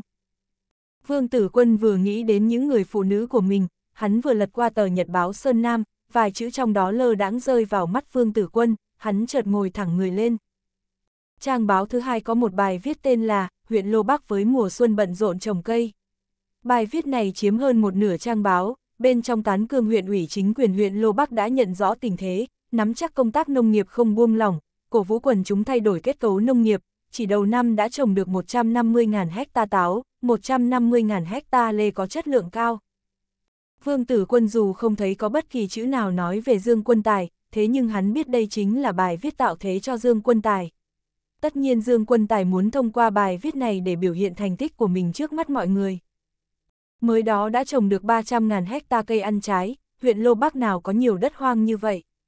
Vương Tử Quân khẽ gõ tay lên mặt bàn, trong đầu lóe lên nhiều ý nghĩ. Nghĩ gì vậy, dùng cơm được rồi.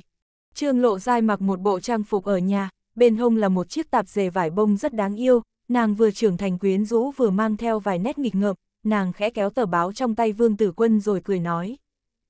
Ngày hôm nay Vương Tử Quân nói muốn ăn món đầu cá nấu đậu hũ, thế là Trương Lộ Giai cũng không nói hai lời mà ép hắn ngồi xuống ghế salon, tự mình vào nhà bếp bận rộn nấu nướng.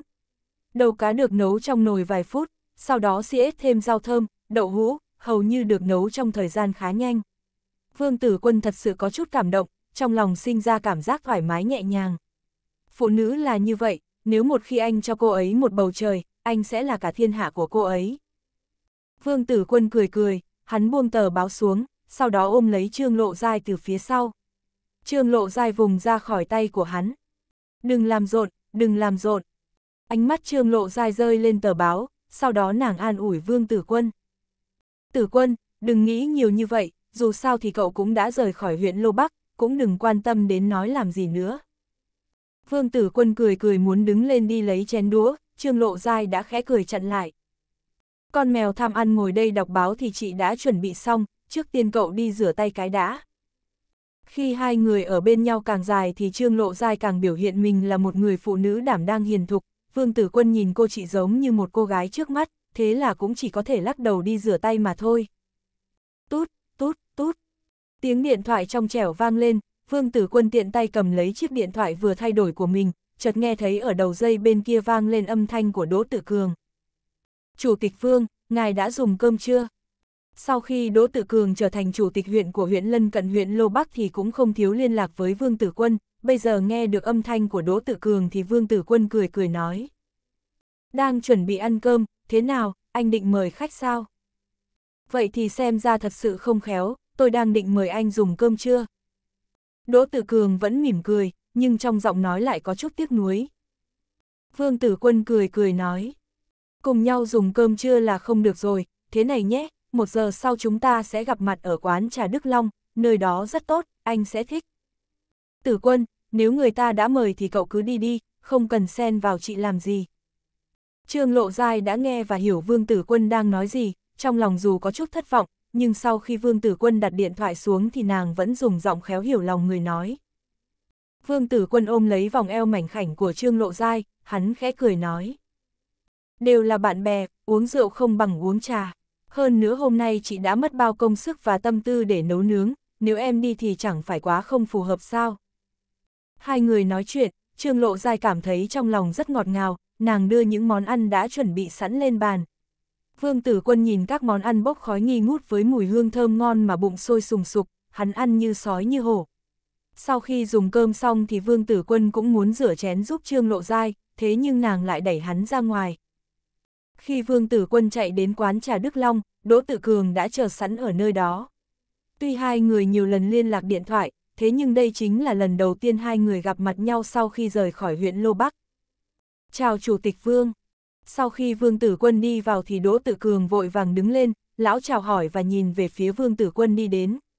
Vương Tử Quân nhìn bộ dạng khách khí của Đỗ Tự Cường mà khẽ cười nói. Chủ tịch Tử Cường, chúng ta trở nên xa lạ như vậy từ khi nào? Tôi nói cho anh biết, anh nếu cứ như vậy tôi sẽ nổi giận. Đỗ Tự Cường cười ha hả, lão cũng không nói gì, chỉ nâng bình trà lên rót vào ly cho Vương Tử Quân, sau đó châm trà cho mình, cuối cùng mới nói. Tôi gọi một ấm trà tinh phẩm, nói là rất thạnh lịch, mời Chủ tịch Vương nếm thử. Vương Tử Quân nâng ly trà lên nhấp một ngụm, khen hai câu trà ngon, sau đó nói về những biến đổi khi hai người rời khỏi huyện Lô Bắc. Vương Tử Quân vừa nói chuyện với Đỗ Tử Cường, vừa nghĩ mục đích của Đỗ Tử Cường khi đến tỉnh thành. Vương Tử Quân biết rõ Đỗ Tử Cường không phải loại người không có việc gì thì thích leo lên điện tam bảo, lúc này đối phương đến tìm mình, chắc chắn là có chuyện. Sau khi nói vài chủ đề lung tung, Đỗ Tử Cường cuối cùng cũng nói ra mục đích của mình lần này. Chủ tịch Vương, ngài có người quen biết ở Cục Công an tỉnh không? Cục Công an tỉnh, Vương Tử Quân suy nghĩ một chút, tất nhiên hắn không có người quen gì, thế nhưng Trương gia có thể nói là thâm căn cố đế ở tỉnh Sơn Nam, cũng sẽ có người ở các ban ngành hiểm yếu mà thôi. Vương Tử Quân hạ quyết tâm, hắn hỏi ngược lại. Có chuyện gì sao? Tôi muốn đưa Tiểu Trình đến thành phố Sơn Viên. Đỗ Tự Cường nhấp một ngụm trà rồi nói. Đưa Đỗ Tiểu Trình đến thành phố Sơn Viên. Vương Tử Quân nhíu mày, sự việc này ngược lại cũng không có gì là khó, chỉ sợ nó lại không đơn giản như những gì Đỗ Tử Cường nói ra. Vì thế hắn cũng không nói lời nào, chỉ dùng ánh mắt nhàn nhạt nhìn Đỗ Tử Cường, hắn tin Đỗ Tử Cường nhất định sẽ cho mình một lý do. Lúc này tất cả cán bộ cảnh sát huyện Lô Bắc đều xuống thôn xóm đốc xúc dân chúng trồng cây. Chủ tịch Vương cũng biết tính tình của Tiểu Trình rồi đấy, đứa bé này tâm tính lương thiện, vì không thuận mắt một tên cán bộ thôn, tên này vì muốn hoàn thành nhiệm vụ mà đại ải dân chúng, thế là nó đánh cho tên kia một trận. Tuy đảng ủy xã nể mặt tôi nên áp chế sự việc và không thông báo lên trên, nhưng nếu công trình 315 của xã không kết thúc đúng thời điểm, chỉ sợ nó sẽ gặp phải phiền toái. Tôi biết rõ tính con gái mình, nó rất nóng tính, càng là người không chịu được uất ức, vì vậy tôi muốn đưa nó ra khỏi huyện Lô Bắc. Đỗ Tự Cường nói, lão châm một điếu thuốc, vẻ mặt càng biểu hiện chút trầm trọng. Tất cả cảnh sát phải về thôn đốc xúc công tác, vương tử quân nhíu màu lại vài phần, hắn không ngờ Dương Quân Tài lại cho ra chiêu thức này, mà một người làm cục trưởng cục công an như Liên Giang Hà lại đồng ý.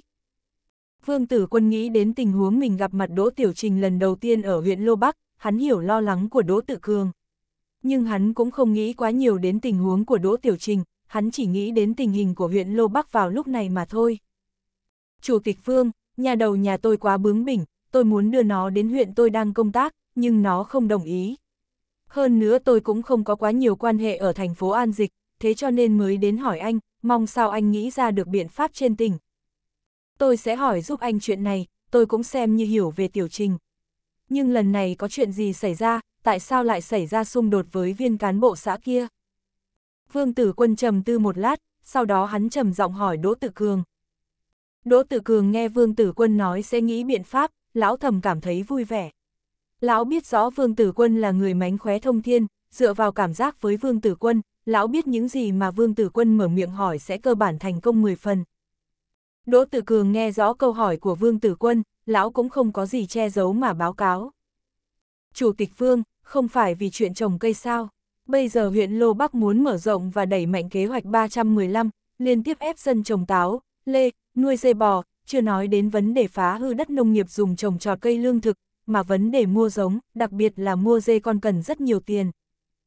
Vương tử quân ve vuốt ly trà trong tay, hắn lặng lặng nghe những lời nói của Đỗ Tự Cường. Tuy lực khống chế của hắn ở huyện Lô Bắc không phải Đỗ Tự Cường có thể so sánh được, nhưng nếu nói về phương diện thâm căn cố đế, tuy Đỗ Tự Cường đã rời khỏi huyện Lô Bắc thế nhưng mức độ tìm hiểu tin tức cũng là thứ mà Vương Tử Quân khó thể so sánh được. Có chút nền tảng thì dễ nói, đằng này không có nền tảng thì rất phiền, bây giờ nhiệm vụ rơi xuống đầu, không hoàn thành không được. Đỗ Tử Cường nói đến đây thì không nói tiếp nhưng Vương Tử Quân lại nghe rõ ràng. Nhiệm vụ từ huyện đưa xuống, không thể không hoàn thành, nếu cán bộ nào không hoàn thành thì chỉ sợ sẽ bị coi là phần tử bất lực. Với tính tình của Đỗ Tiểu Trình, khả năng phát sinh xung đột là rất lớn. Trong phòng rơi vào trầm mặc, khói trắng liên tục bốc lên. Đỗ Tử Cường nói thêm vài câu, sau đó lão rời đi, nhưng Vương Tử Quân lại khó thể nào bình tĩnh lại, hắn trầm tư nửa giờ rồi rời khỏi quán trà. Thiên tâm, cậu có người quen trong cục công an tỉnh không? Vương Tử Quân thật sự là hai mắt tối đen đối với cục công an tỉnh, nếu muốn sắp xếp cho Đỗ Tiểu Trình thì phải nhờ đến Trương Thiên Tâm. Trương Thiên Tâm ở bên kia nghe thấy Vương Tử Quân nhắc đến cục công an tỉnh thì dùng giọng vui đùa nói. Thế nào, có phải xảy ra chuyện, muốn tìm người giúp đỡ phải không? Vương Tử Quân nghe tiếng cười mập mờ của Trương Thiên Tâm thì nào không hiểu rõ tam tư của đối phương. Hắn khẽ cười nói, không phải chuyện của tôi, là một vị đồng sự nữ muốn được đến công tác ở thành phố Sơn Viên, vậy cậu có người không? Việc này thì dễ thôi, như thế này đi, tôi sẽ đi thăm hỏi, có tin tức tốt sẽ báo với cậu. Đúng rồi, tối nay bố tôi muốn mời cậu dùng cơm, cậu có rảnh không? Trương Thiên Tâm nói đến bố mình thì tỏ ra có chút kính sợ. Bố của Trương Thiên Tâm và Trương Lộ Giai là Trương Đông Viễn, ông là trưởng phòng xây dựng thành. Quote chương 344 có đài có báo có truyền hình.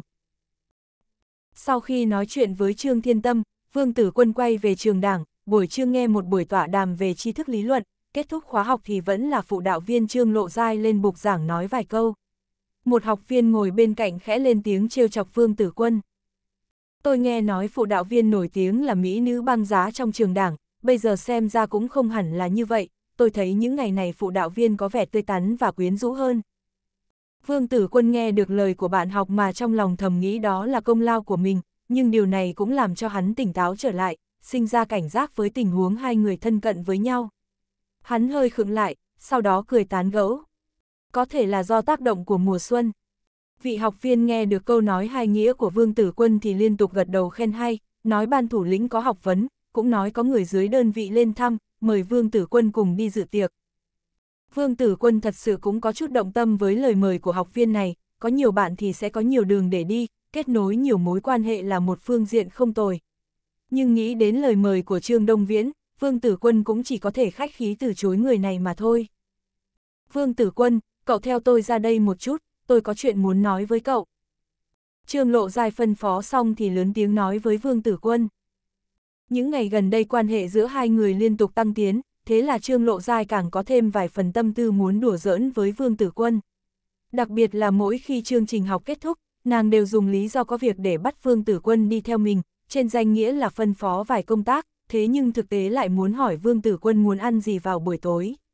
Vương Tử Quân cũng mở lời trêu chọc với hành vi lấy công làm tư của Trương Lộ Giai, thế nhưng Trương Lộ Giai vẫn kiên trì không đổi. Hai người đi ra ngoài phòng học, tỏ ra rất đứng đắn, thật sự giống như một phụ đạo viên đang bàn chuyện với cán sự trong lớp, nhưng dù là ai cũng không ngờ bọn họ đang nói về bữa cơm tối. Tất nhiên Trương Lộ Giai nghe nói bố mình mời Vương Tử Quân dùng cơm thì tỏ ra cực kỳ kinh ngạc, Vương Tử Quân chỉ là tiểu bối khi đứng trước mặt Trương Đông Viễn, vì sao ông lại mời Vương Tử Quân dùng cơm? Nếu không thì chị đi với cậu nhé. Trương Lộ Giai trầm ngâm một lát, sau đó dùng giọng thăm dò hỏi Vương Tử Quân, nhìn vẻ mặt lo lắng của nàng, có thể thấy nàng đang rất lo vì sự kiện bố mình mời Vương Tử Quân dùng cơm tối. Vương Tử Quân cười cười nói, chú Trương cũng không ăn thịt người, tôi sợ cái gì? Làm sao cậu không nhìn rõ ý tốt của người ta chứ? Không thèm nói với cậu nữa. Trương Lộ Giai lúc này cũng cảm thấy mình có chút không ổn, dù nàng rất thích ở cùng một chỗ với Vương Tử Quân, quý trọng từng giây từng phút ở bên người đàn ông này, thế nhưng những chuyện như thế này nên gạt bố mình thì hay hơn. Trương Đông Viễn dù là một trong những nhân vật có thực quyền nhưng chỉ mời Vương Tử Quân dùng cơm ở một khách sạn hương cư bình thường, nếu nghe tên mà không chú ý, còn tưởng rằng quán ăn này bán văn phòng phẩm. Khách sạn hương cư xem ra cũng giống như tên, là một khách sạn không chút xa hoa, lại có thêm vài phần trang nhã. Trương Đông Viễn đặt một gian tên là Văn Hải, sau khi nhân viên phục vụ mở cửa ra, Vương Tử Quân thấy Trương Đông Viễn đang cầm bình trà rót nước. Vương Tử Quân thật sự không ngờ Trương Đông Viễn lại đến sớm như vậy, phải biết rằng vì muốn biểu hiện sự tôn kính của mình với vị bố vợ hờ này, hắn đã cố ý đến khá sớm, không ngờ Trương Đông Viễn còn đến sớm hơn. Nhưng cảm giác kinh ngạc của hắn đã nhanh chóng biến mất khi gặp một gương mặt khác. Nhiếp hạ quân, sao hắn lại ở chỗ này? Nếu như không phải xác nhận ánh mắt của mình không nhìn lầm, Vương Tử Quân thật sự sẽ hoài nghi thị lực của mình có vấn đề. Ha ha ha, ở trong trường đảng có quá nhiều người cũng không dám ảnh hưởng đến Chủ tịch Vương, hôm nay sao vậy? Chẳng lẽ không chào đón một vị khách không mời như tôi? Bí thư tỉnh ủy sao lại ở chỗ này? Ý nghĩ này chợt bùng lên và xoay mãi trong lòng Vương Tử Quân, hắn vội vàng cúi người với nhiếp hạ quân. Chào bí thư nhiếp.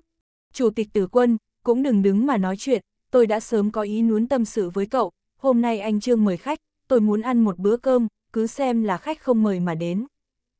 Nhiếp hạ quân nói ra lý do rất tùy ý, thế nhưng vương tử quân lại cảm thấy trong lời nói tùy ý đó cũng không phải chỉ có ý nghĩa đơn giản như vậy mà thôi. Nhưng vương tử quân dù sao bây giờ cũng chỉ là một chủ tịch huyện, nếu so ra thì kém trời đất so với bí thư tỉnh ủy, ngoài trừ thế lực gia tộc thì căn bản không có nhiều thứ cho nhiếp hạ quân có thể động tâm. Với thân phận của nhiếp hạ quân, nếu muốn bàn bạc gì đó với gia tộc của hắn, ít nhất cũng phải đối thoại với bố hắn, chính hắn còn chưa có tư cách như thế này. Hôm nay thật sự trùng hợp, Tiểu Vương, tôi cảm thấy cậu rất có luận điểm đối với phương diện phát triển kinh tế, tôi cũng suy xét rất nhiều về lời nói của cậu, cảm thấy càng nghĩ càng đúng. Nhiếp hạ quân nâng ly trà lên nhấp một ngụm, lão mỉm cười nói với Vương Tử Quân. Lý luận của mình tất nhiên là rất tốt rồi, Vương Tử Quân thầm nghĩ như vậy, trong lòng lại giống như đã hiểu ra một điều gì đó. Nhiếp hạ quân cũng vừa mới đến tỉnh Sơn Nam, khốn nổi Sơn Nam trước nay luôn là địa bàn kinh doanh của Dương Độ Lục, thế cho nên nhiếp hạ quân muốn nắm được đại thế cũng không phải chuyện gì dễ dàng. Chưa nói đến những thứ khác, các vị lãnh đạo khối chính quyền tỉnh tuy gặp mặt là nói cười ha hả, thế nhưng trong lòng thầm nghĩ điều gì thì có ai mà biết được. Là một bí thư tỉnh ủy, ngoài chú trọng phương diện dùng người, càng nắm chắc phương hướng phát triển của cả tỉnh. Nhiếp hạ quân muốn tìm điểm đột phá trên người Dương Độ Lục, như vậy chỉ còn cách đi đường tắt mà thôi. Cảm ơn bí thư nhiếp khích lệ, tôi thật sự xấu hổ không dám nhận, đó chỉ là những ý kiến chưa được chứng thực mà thôi. Vương tử quân nở nụ cười tràn đầy khiêm tốn với nhiếp hạ quân, sau đó khẽ nói. Nhiếp hạ quân rất thỏa mãn với sự khiêm tốn của vương tử quân, lão gật đầu rồi nói tiếp. Tiểu vương, còn trẻ thì phải có tinh thần phấn chấn, nếu quá khiêm tốn cũng không tốt đâu. Trương Đông Viễn có nụ cười ung dung rất giống với Trương Thiên Tâm, thế nhưng nếu nói về tích cách ẩn giấu thì Trương Thiên Tâm thật sự chạy ngựa cũng không theo kịp. Trương Đông Viễn ngồi bên cạnh nhiếp hạ quân, cũng không nói gì, chỉ tươi cười vui vẻ nhìn hai người đối diện nói chuyện với nhau. Trong đầu vương tử quân chợt lóe lên một ý nghĩ, hắn khẽ gật đầu với lời nói ám chỉ mình quá khiêm tốn của nhiếp hạ quân, sau đó cảm thấy mình không nói gì là biện pháp tốt nhất. Thay đổi phương hướng phát triển kinh tế, đây chính là biện pháp rất tốt.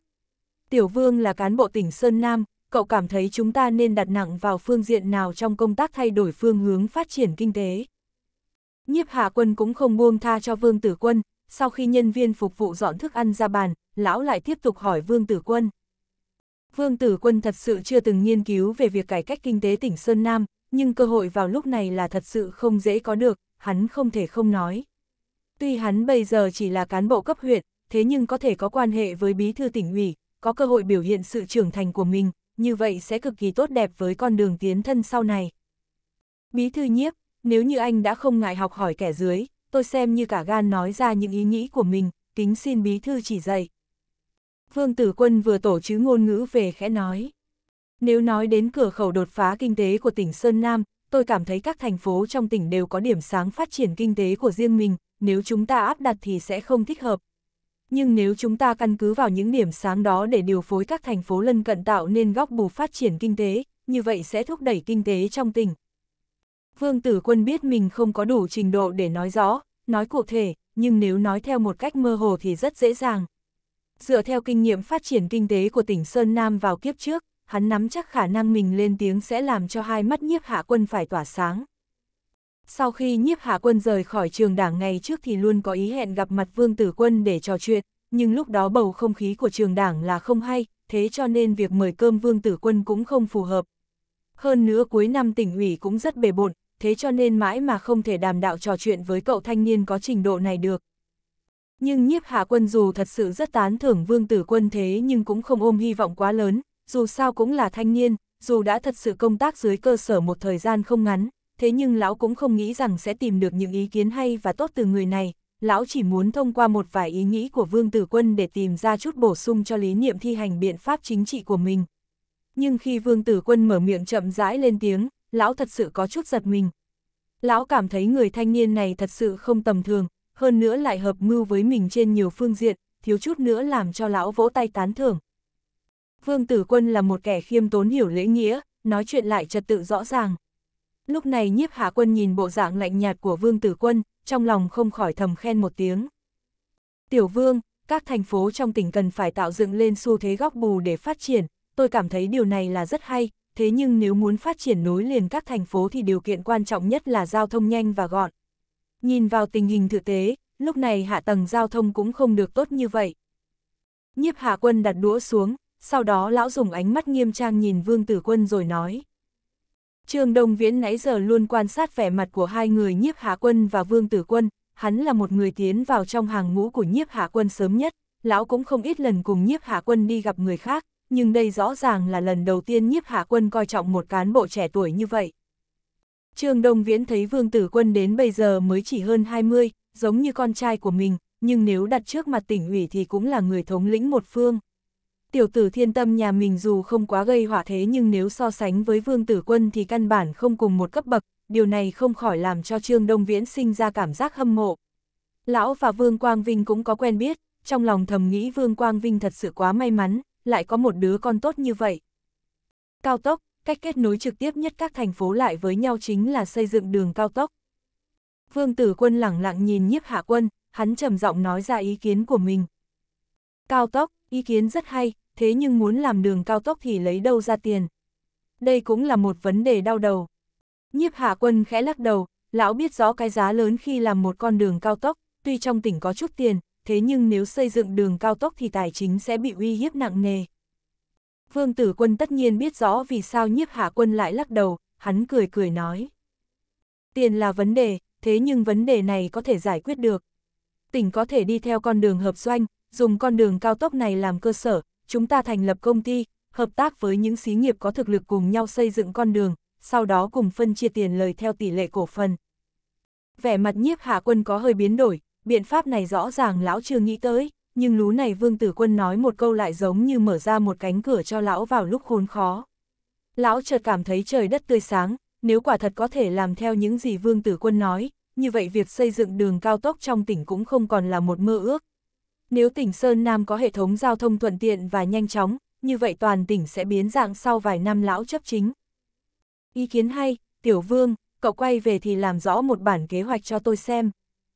Nhiếp hạ quân khó kiềm nén được cảm giác động tâm, sau khi phân phó xong thì nói tiếp. Tốt nhất là nhanh lên. Vương tử quân khẽ gật đầu, hắn biết rõ lúc này mình xem như đã biểu diễn tốt, có được ấn tượng với lãnh đạo. Sau khi lẳng lặng dùng cơm canh thì nhiếp hạ quân lại đứng lên. Trương Đông Viễn và Vương Tử Quân cũng đi theo ra đến cửa, khi ra khỏi phòng thì nhiếp hạ quân kéo tay Vương Tử Quân nói.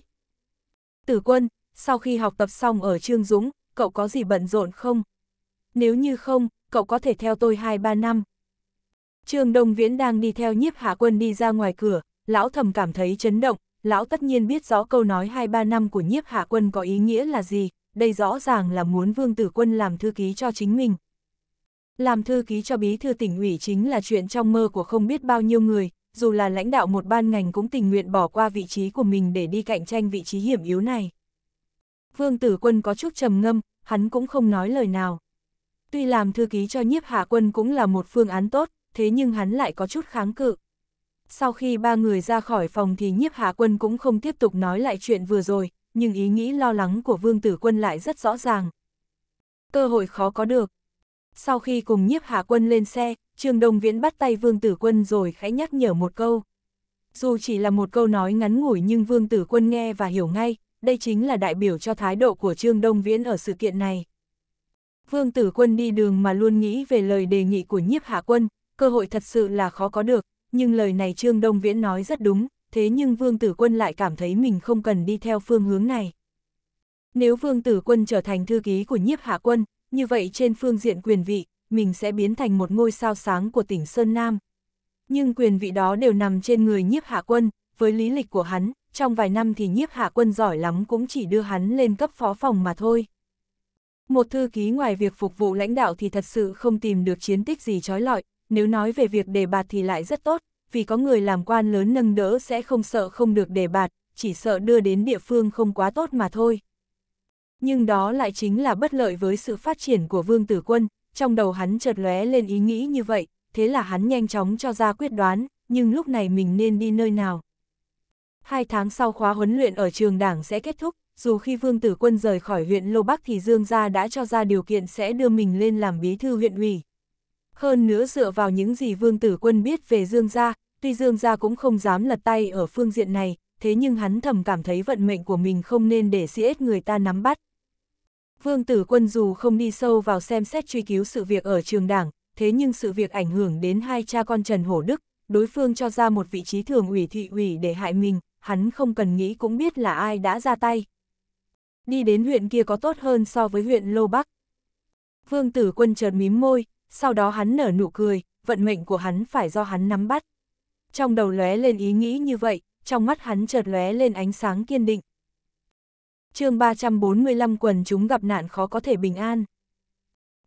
Chủ tịch Vương, anh bận rộn gì vậy, tôi là Minh Khải. Sau khi tan học, Vương Tử Quân vừa mở nguồn điện thoại được một lúc thì nhận được điện thoại của Hàn Minh Khải. Vương Tử Quân vốn không có tâm tư quan tâm đến một nhân vật tầm thường như Hàn Minh Khải, nhưng bây giờ hắn đã hạ quyết tâm, tất nhiên cần thêm nhiều trợ lực. Hắn trầm ngâm một chút rồi nói. Chào trưởng phòng Hàn, tôi vừa mới học xong, anh ở chỗ nào? Tôi ở thành phố Sơn Viên, đến bàn vài chuyện, không biết giữa chưa có thời gian mời lãnh đạo dùng cơm không? Hàn Minh Khải nói bằng giọng điệu rất chờ mong. Ha ha ha, nhìn anh kìa, anh từ huyện Lô Bắc đến đây, chúng ta lại là đồng sự cũ của nhau, tôi nên mời anh đi dùng cơm mới đúng. Thế này đi, lát nữa chúng ta đến tụ tập ở khách sạn Phú Nguyên uống vài ly, thế nào?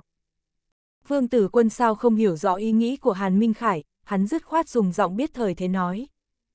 Hàn Minh Khải thấy Vương Tử Quân tiếp nhận lời mời thì tỏ ra cực kỳ vui mừng, hắn nói hai câu rồi cúp điện thoại.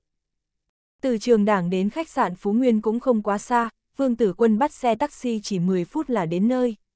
Khi Vương Tử Quân xuống xe thì thấy Hàn Minh Khải đang kẹp cặp đứng trên hành lang khách sạn chờ mình, khi thấy hắn xuống xe thì nhanh chóng tiến đến chào đón.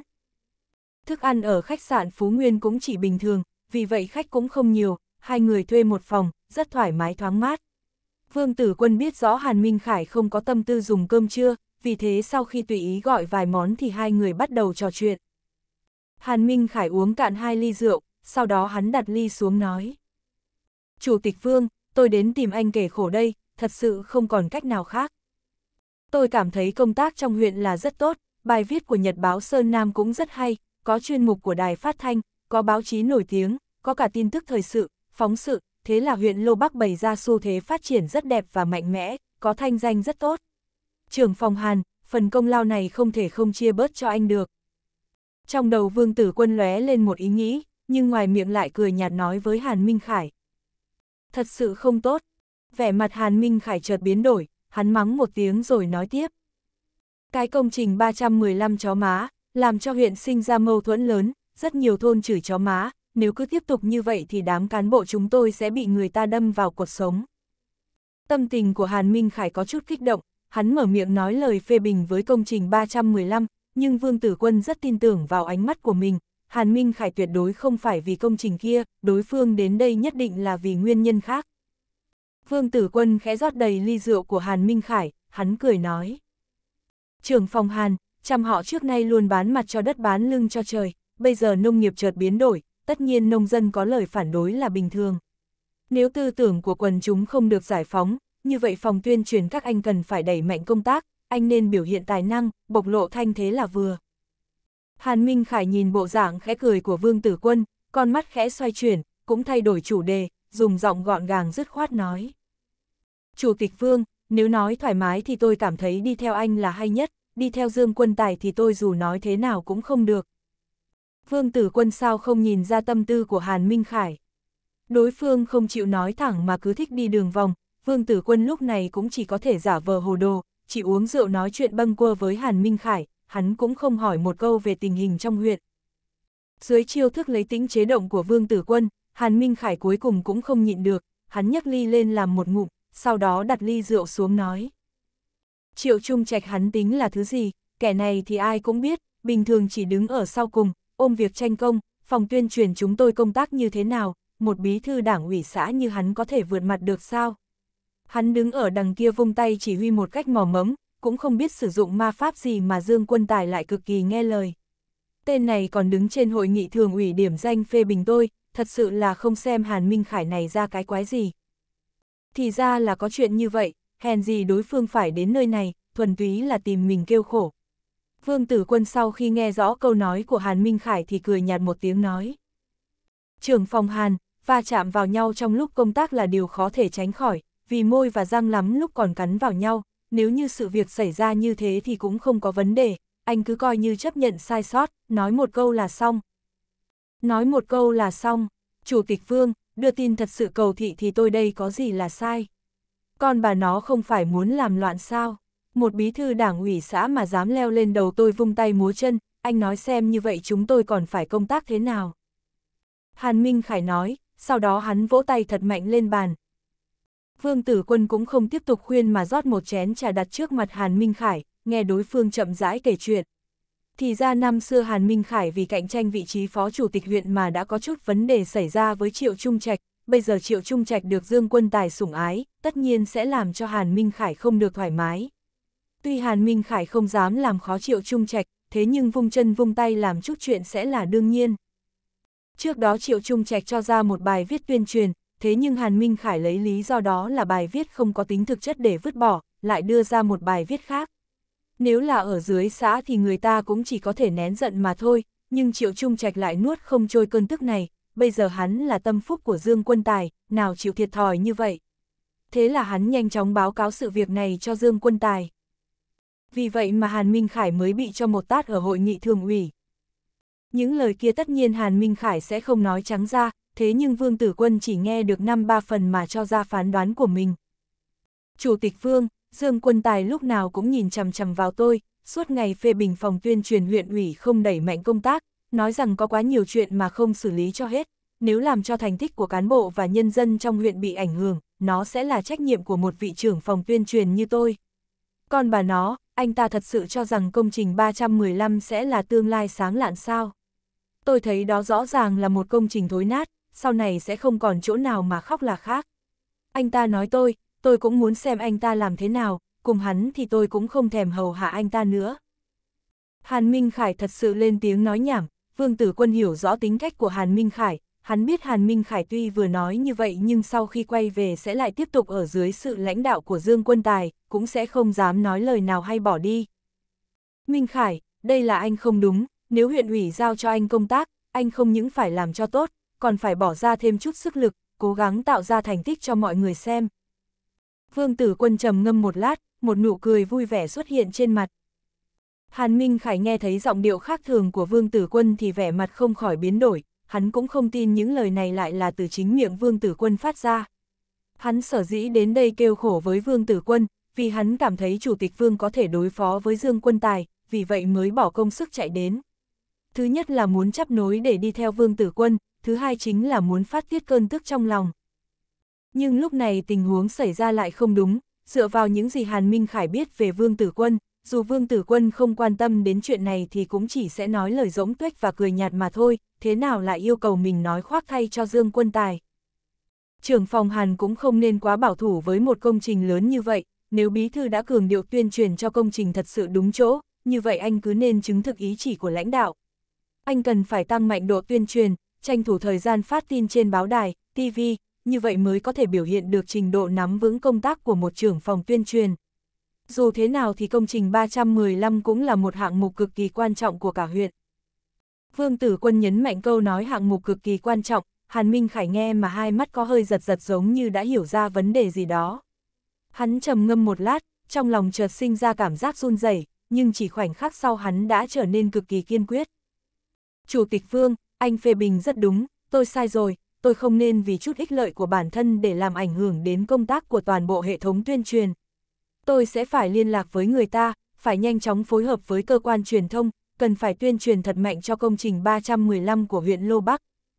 Hàn Minh Khải nói từng chữ và siết chặt tay, nhưng Vương Tử Quân cũng nhanh chóng giữ lấy tay Hàn Minh Khải rồi nói. Anh Hàn, anh cần gì phải hấp tấp như vậy, có câu dao sắc không dùng đi chặt củi, nếu anh không ăn no mà sinh bệnh, chẳng phải sẽ làm chậm trễ công tác sao? Cảm ơn Chủ tịch Vương quan tâm, chúng ta tiếp tục dùng cơm. Hàn Minh Khải gãi đầu ngại ngùng, hắn lại ngồi xuống vị trí của mình, lúc này hắn không nói một chữ đề cập đến vấn đề vừa rồi mà vừa ăn vừa kể vài câu chuyện cười. Hai người nói cười vui vẻ rồi dùng xong bữa cơm trưa, sau bữa cơm này thì Hàn Minh Khải bỏ đi với gương mặt phấn chấn, giống như ăn cơm ở gần trường đảng cũng có thể làm cho tinh thần nhiệt tình công tác cả hắn chợt tăng lên vùn vụt. Tuy hai người Vương Tử Quân và Hàn Minh Khải không nói gì nhiều, thế nhưng hai bên lại thầm hiểu ý nhau. Sau khi tiến chân Hàn Minh Khải thì nụ cười trên mặt Vương Tử Quân chợt tan biến sạch sẽ, hắn không ngờ mình mới cho ra quyết định không bao lâu mà bây giờ đã ra bước đầu tiên. Vương Tử Quân tiến ra một bước vào lúc này chính là sắp khiêu chiến với một đoàn thể có năng lượng cực đại ở tỉnh Sơn Nam, trước kia hắn chỉ có một phần nhỏ là tranh đấu với Dương Quân Tài, tuy Dương Quân Tài cũng mượn lực lượng của đoàn thể kia, nhưng vì đối phương là đối tượng bồi dưỡng trọng điểm, thế cho nên Vương Tử Quân cũng không ra tay quá chính diện. Dương Quân Tài bị mình áp chế ở tỉnh Sơn Nam nhưng tuyệt đối không thể lật thuyền, chính mình ra tay thì đoàn thể kia sẽ không thể ngồi yên được, nhưng Vương Tử Quân đã hạ quyết tâm, hắn thật sự không thể thu hồi được nữa. Khi vào học tập ở trường đảng thì Vương Tử Quân tuy không cắt đứt liên lạc với huyện Lô Bắc nhưng cũng không tỏ ra tìm hiểu quá tích cực, nhưng lúc này hắn đã cho ra quyết định, thế cho nên tất cả sự việc của huyện Lô Bắc đã hiện lên quá rõ ràng. Chủ tịch Tăng Nhất Khả của Hội đồng Nhân dân huyện Lô Bắc sắp về hưu, Vương Tử Quân suy nghĩ về tin tức được truyền đến từ Thái Thần Bân, hắn biết rõ huyện Lô Bắc sẽ có biến đổi lớn. Khi Tăng Nhất Khả tạm thời rời khỏi cương vị công tác, chỉ sợ sẽ có một số người đi lên, càng có một số người bị rút về. Còn người đi lên là ai thì Vương Tử Quân không quá quan tâm, nhưng người bị dịch chuyển khỏi vị trí công tác đã quá rõ ràng, chính là người thuộc dòng chính của Vương Tử Quân. Hai ngày trước Tôn Hạ Châu đến thăm Vương Tử Quân, tuy Tôn Hạ Châu không nói rõ điều gì, chỉ nói chuyện phiếm nửa ngày nhưng Vương Tử Quân cũng có thể nhìn rõ chút ý nghĩ thất lạc trong mắt thư ký cũ của mình. Tôn Hạ Châu là bí thư đảng ủy khối khu quy hoạch, là phó khu sắp tiếp nhận vị trí trưởng khu, lại không ngờ vài ngày trước khu quy hoạch điều chỉnh cán bộ cấp lãnh đạo, Tôn Hạ Châu bị điều đến ban tôn giáo. Tôn Hạ Châu làm phó ban tôn giáo huyện Lô Bắc, coi như là cấp bậc chính khoa, nhưng tính ra thì có 7 vị biên chế làm trưởng và phó ban tôn giáo, dù nhìn từ góc độ nào cũng không có bất kỳ nhiệm vụ công tác nào. Đề bật nhưng rõ ràng lại là hạ cấp, Vương Tử Quân cũng không phải chưa từng dùng thủ đoạn này. Tôn Hạ Châu làm phó ban tôn giáo thì phải đi lại nói chuyện nhiều hơn, nhưng lúc này toàn huyện Lô Bắc ở vào xu thế đẩy mạnh áp dụng công trình 315, thến cho nên cũng sinh ra nhiều ảnh hưởng. Tôn Hạ Châu là người huyện Lô Bắc, tất nhiên sẽ có bạn bè người thân ở dưới xã, lúc này công trình 315 được đẩy mạnh, chỉ cần có liên quan đến bọn họ, tất nhiên bọn họ sẽ nghĩ ngay đến người thân của mình đang công tác ở huyện ủy, là Tôn Hạ Châu. Vì vậy mà trong quá trình đẩy mạnh xây dựng hạng mục 315, Tôn Hạ Châu dù có về đến nhà cũng không thể nào yên tĩnh được. Chủ tịch Vương, tôi có một người thân, vốn nuôi một bầy dê bản địa, nói ra cũng không có vấn đề, ruồi dê thì dê gì chẳng như nhau. Nhưng xã không đồng ý, nói là phải dựa theo đúng yêu cầu của huyện, tất cả phải nuôi dê giống mới. Rơi vào đường cùng, người bà con kia của tôi phải bán tống bán tháo đàn dê của mình, lại mua vào nguồn giống dê khác với giá cao, hơn 20 con dê trưởng thành biến thành dê con, hơn nữa còn phải bỏ ra một khoản tiền không nhỏ. Trước khi đi Tôn Hạ Châu nói một chuyện đáng cười nà cho Vương Tử Quân, nhưng Vương Tử Quân không cảm thấy buồn cười, chỉ cảm thấy khổ sở mà thôi. Quần chúng cũng có khổ sở và ngọt ngào, nếu quần chúng mà gặp khó khăn thật sự không thể bình an, như vậy sẽ có vấn đề. Vương Tử Quân nghe rõ những lời nói của Tôn Hạ Châu, ý nghĩa của nó chính là đối phương hy vọng mình có thể đứng ra giải quyết những vấn đề này, thế nhưng lúc này chính Vương Tử Quân lại sinh ra cảm giác bất đắc dĩ. Nếu như vị trí của mình ở trên dương quân tài, như vậy muốn thay đổi trạng thái vào lúc này sẽ không có gì là khó, tuyến trên mở miệng thì tuyến dưới sẽ phải chạy gãy chân. Nhưng bây giờ mình là một cán bộ trong ban huấn luyện của trường đảng, cũng không thể vung tay chặn ngang sự kiện bên dưới huyện, nếu không mình sẽ đứng sai chỗ, sẽ rơi vào thế việt vị. Đi về vị trí cao hơn, trong đầu vương tử quân chợt quay cuồng một ý nghĩ mới, trong lòng càng bùng lên một luồng hy vọng. Tút, tút, tút. Vương tử quân hầu như đã sắp đào thải chiếc máy nhắn tin, bây giờ máy nhắn tin lại vang lên, hắn nhanh chóng lấy ra xem. Sau đó hắn lại dùng điện thoại để bấm số, điện thoại vừa nối thông thì chợt nghe thấy có một người thanh niên lên tiếng. Xin hỏi có phải là Chủ tịch Vương không? Sau khi nhận được câu trả lời thuyết phục của Vương Tử Quân, người kia trầm giọng nói. Chào Chủ tịch Vương, tôi là thư ký của Bí Thư Trịnh, xin hỏi anh bây giờ có rãnh không? Bí Thư Trịnh có chuyện cần bàn với anh. Trịnh Đông Phương tìm mình bàn bạc, trong đầu Vương Tử Quân chợt lóe lên ý nghĩ như vậy, sau khi xác định tin tức thì hắn trầm tĩnh nói. Bí thư Trịnh ở chỗ nào? Tôi sẽ đi qua. Bí thư Trịnh đang ở nhà khách tỉnh ủy, Chủ tịch Vương đến rồi liên lạc với tôi là được. Thư ký của Trịnh Đông Phương lên tiếng rất khách khí, sau đó nói rõ số điện thoại của mình một lượt. Vương Tử Quân đến bây giờ cũng chưa từng khinh thường thư ký bên cạnh lãnh đạo, hắn nói vài câu khách sáo với đối phương, sau đó đặt điện thoại xuống, nhanh chóng đi ra ngoài trường đảng. Sau khi bắt xe vào khách sạn, Vương Tử Quân gọi điện thoại cho thư ký của Trịnh Đông Phương. Viên thư ký này cũng không làm cho Vương Tử Quân chờ lâu, vài phút sau đã chạy ra đón, sau đó đưa Vương Tử Quân đi vào trong một phòng xếp được lắp đặt thiết bị rất khí phái. Lúc này Trịnh Đông Phương đang ngồi trên ghế salon khách sạn, lão nhìn qua có vẻ rất phấn chân. Khi thấy Vương Tử Quân tiến vào thì lão buông văn kiện trong tay xuống rồi nhìn qua cười hỏi. Tử Quân, học tập ở trường đảng thế nào? Tôi nghe nói cậu ở trường đảng đã một lần đốt lửa lớn. Đó là chuyện không còn cách nào hơn, có người không muốn nhìn tôi sống yên ổn. Vương Tử Quân khẽ cười, hắn khẽ nói. Một câu nói như vậy tất nhiên Trịnh Đông Phương sẽ hiểu ý nghĩa của nó, cũng không lên tiếng nói chọc ra. Thư ký vào dâng trà cho hai người, sau đó đi ra đóng cửa lại, Trịnh Đông Phương mới cười nói. Cậu đấy, vẫn là tính cách kia.